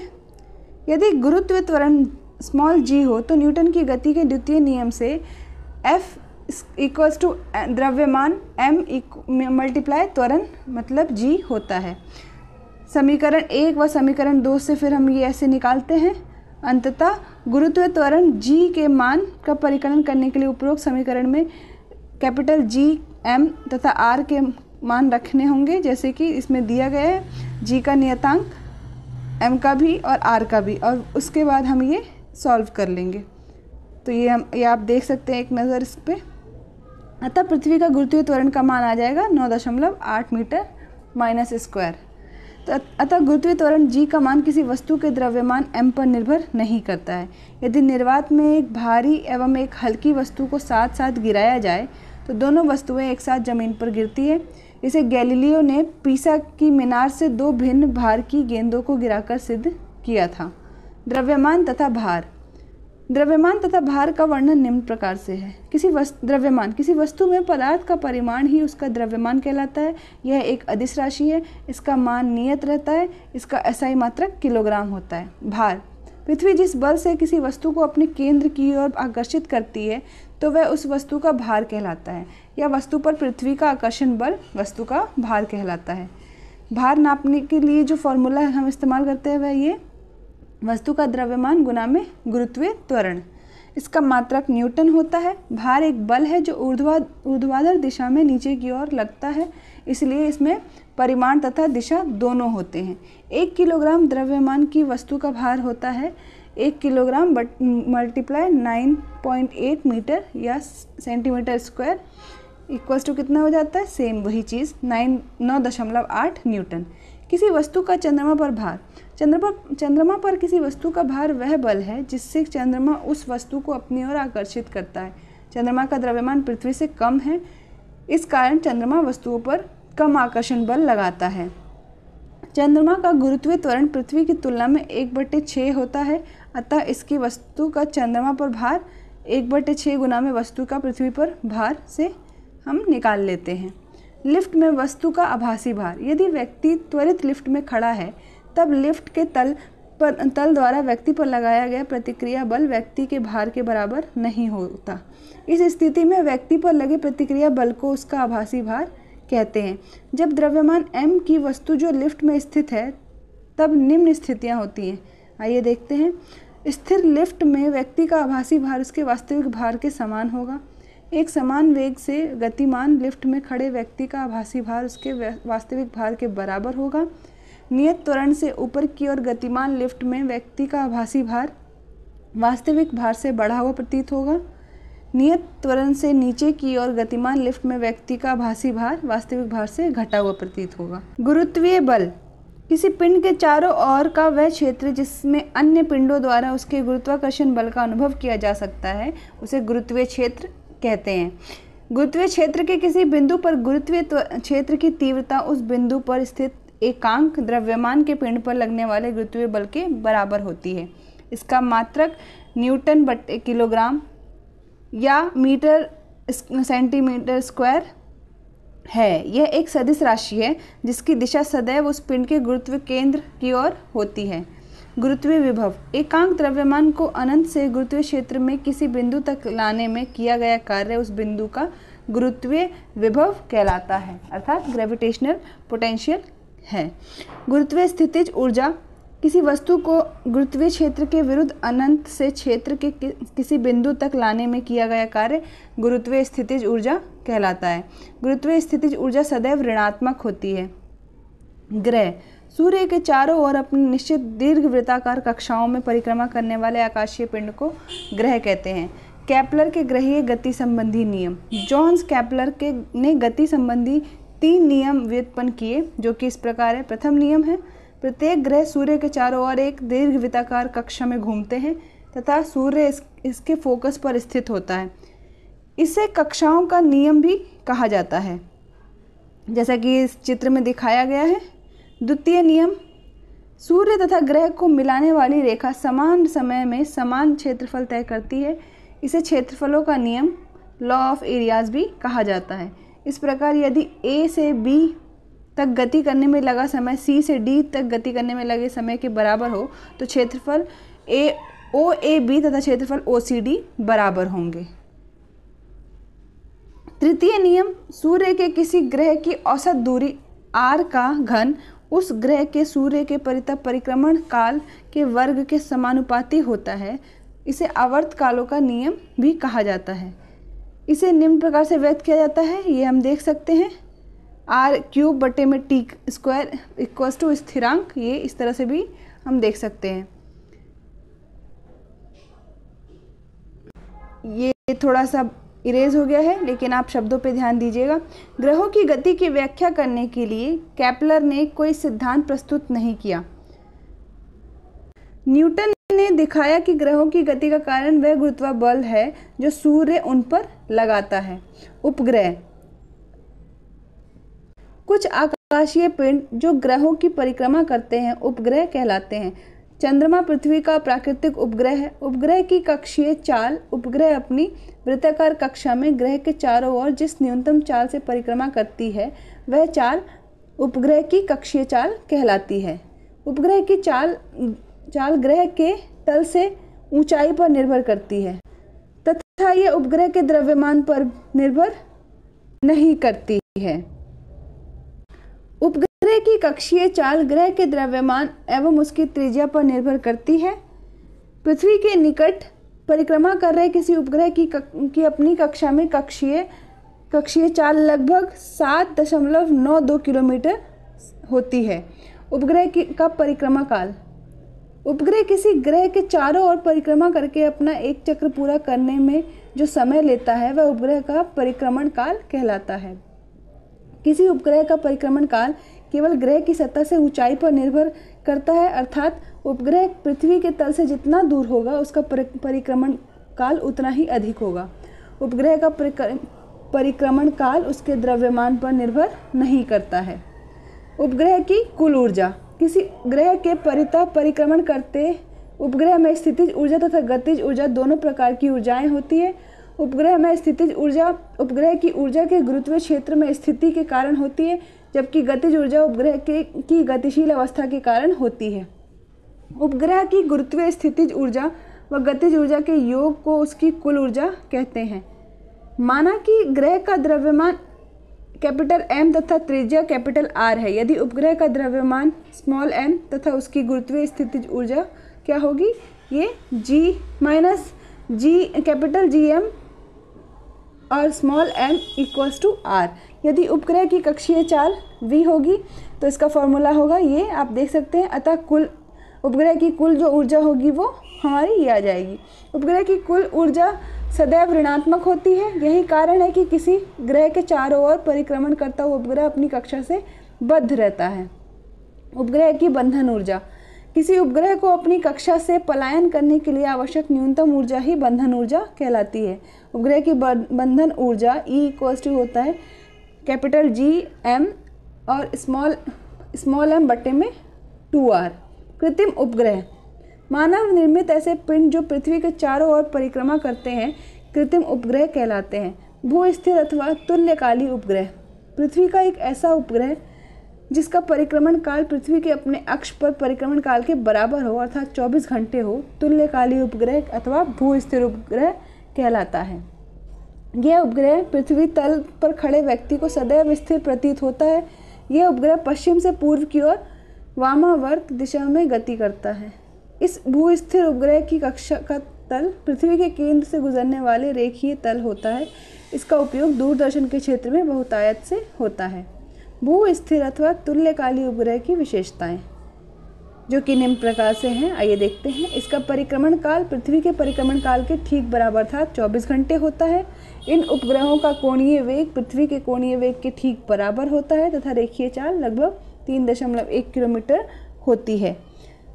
ये उपग्रह पृथ्वी के विषुवत तल में पश्चिम से पूर्व की ओर पृथ्वी की परिक्रमा करते हैं। ये उपग्रह पृथ्वी तल से पैंतीस हज़ार आठ सौ तीस किलोमीटर की ऊंचाई पर बयालीस किलोमीटर त्रिज्या की कक्षा में पृथ्वी की परिक्रमा करते हैं। ध्रुवीय उपग्रह। वे उपग्रह जो पृथ्वी के चारों ओर ध्रुवीय कक्षाओं में परिक्रमण करते हैं, वे ध्रुवीय उपग्रह कहलाते हैं। ध्रुवीय उपग्रह पृथ्वी के सतह से 500 से 800 किलोमीटर की दूरी पर स्थित होते हैं। ध्रुवीय उपग्रह की विशेषताएँ, इनकी कक्षा का तल पृथ्वी के उत्तरी व दक्षिणी ध्रुवों के समीप से गुजरता है। इन उपग्रहों की सहायता से दूरस्थ स्थानों की सूची प्रदान, सूची प्राप्त की जाती है। इसी कारण यह दूर संवेदी उपग्रह भी कहलाते हैं। ये उपग्रह पृथ्वी के घूर्णन गति के विपरीत गति करते हैं। इनका परि परिक्रमण काल लगभग 100 मिनट होता है। ध्रुवीय उपग्रह की कक्षा की दिशा उत्तर दक्षिण होती है, जबकि पृथ्वी अपनी अक्ष पर पश्चिम से पूर्व की ओर घूर्णन करती है। पृथ्वी के चारों ओर ध्रुवीय और विषुवतीय कक्षाएँ। इन उपग्रहों का प्रक्षेपण, ध्रुवीय उपग्रह प्रक्षेपण मान द्वारा किया जाता है।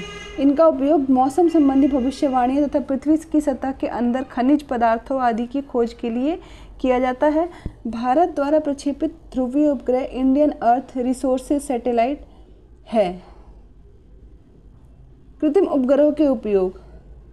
अंतरिक्ष में स्थित वायुमंडल की विभिन्न परतों के अध्ययन में पृथ्वी की आंतरिक सतह के अध्ययन में, पृथ्वी की सतह के अंदर खनिज पदार्थों की खोज में, मौसम संबंधी सूचनाएँ एकत्रित करने में, दूरदर्शन के कार्यक्रमों के प्रसारण में, अन्य ग्रहों से आने वाले विकिरण में मौजूद कणों की विवेचना में, विमान चालकों की दशा ज्ञात करने में, युद्ध के समय शत्रु की गतिविधि को ज्ञात करने में। भारहीनता। किसी वस्तु का भार वह बल है जिस बल से पृथ्वी उसे अपनी ओर आकर्षित करती है। किसी वस्तु के भार का अनुभव उस वस्तु के संपर्क में रखी गई अन्य वस्तु अन्य वस्तु रखी अन्य वस्तु द्वारा लगाए गए प्रतिक्रिया बल के कारण होता है। जब कोई वस्तु किसी तल पर खड़ा होता है तो उसके भार के कारण तल पर नीचे की ओर एक बल कार्य करता है। इस बल के कारण तल व्यक्ति के भार के ठीक बराबर प्रतिक्रिया बल की ऊपर, बल ऊपर की ओर लगता है। यदि किसी परिस्थिति में यह प्रतिक्रिया शून्य हो जाए तो व्यक्ति को अपना भार शून्य प्रतीत होता है। यह अवस्था ही भारहीनता की अवस्था कहलाती है। भारहीनता का अनुभव निम्न परिस्थितियों में किया जाता है। पहला है, जब वस्तु गुरुत्व के अधीन मुक्त रूप मुक्त रूप से गिरे हैं, गिरे, तब लिफ्ट अथवा वायुयान के नीचे गिरते समय हमें भारहीनता का अनुभव होता है। जब कोई उपग्रह पृथ्वी के पारितः के परितः अपनी कक्षा में परिक्रमण करता है तो उसके भीतर की प्रत्येक वस्तु पृथ्वी के केंद्र की और त्वरित गति से गतिशील होती है, तथा इस गति का त्वरण यथार्थ रूप से उस स्थिति में पृथ्वी के गुरुत्वीय त्वरण के बराबर होता है। अतः उपग्रह के भीतर प्रत्येक वस्तु स्वतंत्रता पूर्वक गिरती है, जो भारहीनता की अवस्था है। पलायन चाल। पलायन चाल वह न्यूनतम वेग है, जिससे किसी वस्तु का, वस्तु को ऊपर की ओर फेंके जाने पर पृथ्वी के गुरुत्वाकर्षण क्षेत्र से बाहर चली। ऊपर की ओर फेंके जाने पर पृथ्वी के पृथ्वी के गुरुत्वाकर्षण क्षेत्र से बाहर चली जाए और पुनः वापस ना लौटे। पलायन चाल का मान प्रक्षेपित वस्तु के द्रव्यमान पर निर्भर नहीं करता है, बल्कि उसके स्थान पर, उस ग्रह के द्रव्यमान व त्रिज्या पर निर्भर करता है, जिस, जिसकी सतह को प्रक्षेपित किया जाता है। पृथ्वी की सतह पर पलायन चाल का मान ग्यारह दशमलव दो किलोमीटर स्क्वायर दो किलोमीटर से होता है। चंद्रमा पर पलायन चाल का मान दो दशमलव तीन किलोमीटर होता है, इसलिए वह वहाँ वायुमंडल नहीं पाया जाता है। यदि पृथ्वी के समीप चक्कर काटते हुए उपग्रह की कक्षीय चाल अंडर रूट दो गुनी हो जाए तो वह उपग्रह अपनी कक्षा को छोड़कर पृथ्वी के गुरुत्वीय क्षेत्र से बाहर पलायन कर जाएगा। कुछ एक्स्ट्रा फैक्ट्स हैं। गुरुत्वीय स्थिरांक जी का मान पृथ्वी पर सभी जगहों एवं संपूर्ण ब्रह्मांड में एक समान है। साधारण द्रव्यमान वाली वस्तुओं के बीच लगने वाला गुरुत्वीय बल अत्यंत दुर्बल होता है। पृथ्वी के कारण लगने वाले गुरुत्वाकर्षण बल को गुरुत्व भी कहते हैं। गुरुत्व त्वरण का मान मुक्त रूप से गिरती हुई वस्तु के द्रव्यमान से स्वतंत्र होता है। वस्तु का द्रव्यमान स्थान बदलने पर भी बदलता नहीं है। वस्तु का द्रव्यमान जितना अधिक होगा, उस वस्तु का जड़त्व का मान भी उतना ही अधिक होगा। वस्तु का भार उसके द्रव्यमान के समानुपाती होता है। पृथ्वी के अलग अलग भागों के लिए वस्तु का भार अलग अलग होगा, क्योंकि अलग अलग भागों के लिए गुरुत्वीय त्वरण स्मॉल जी का मान अलग अलग होगा। गति के तीसरे नियम के अनुसार, मशीन पर खड़े लड़के के भार के बराबर ऊपर की तरफ़ प्रतिक्रिया होती है। गुरुत्वीय क्षेत्र में मुक्त रूप से गिरती हुई वस्तु या पिंड भारहीनता की स्थिति में होते हैं। हमारा अगला चैप्टर है पदार्थ के यांत्रिक उपकरण।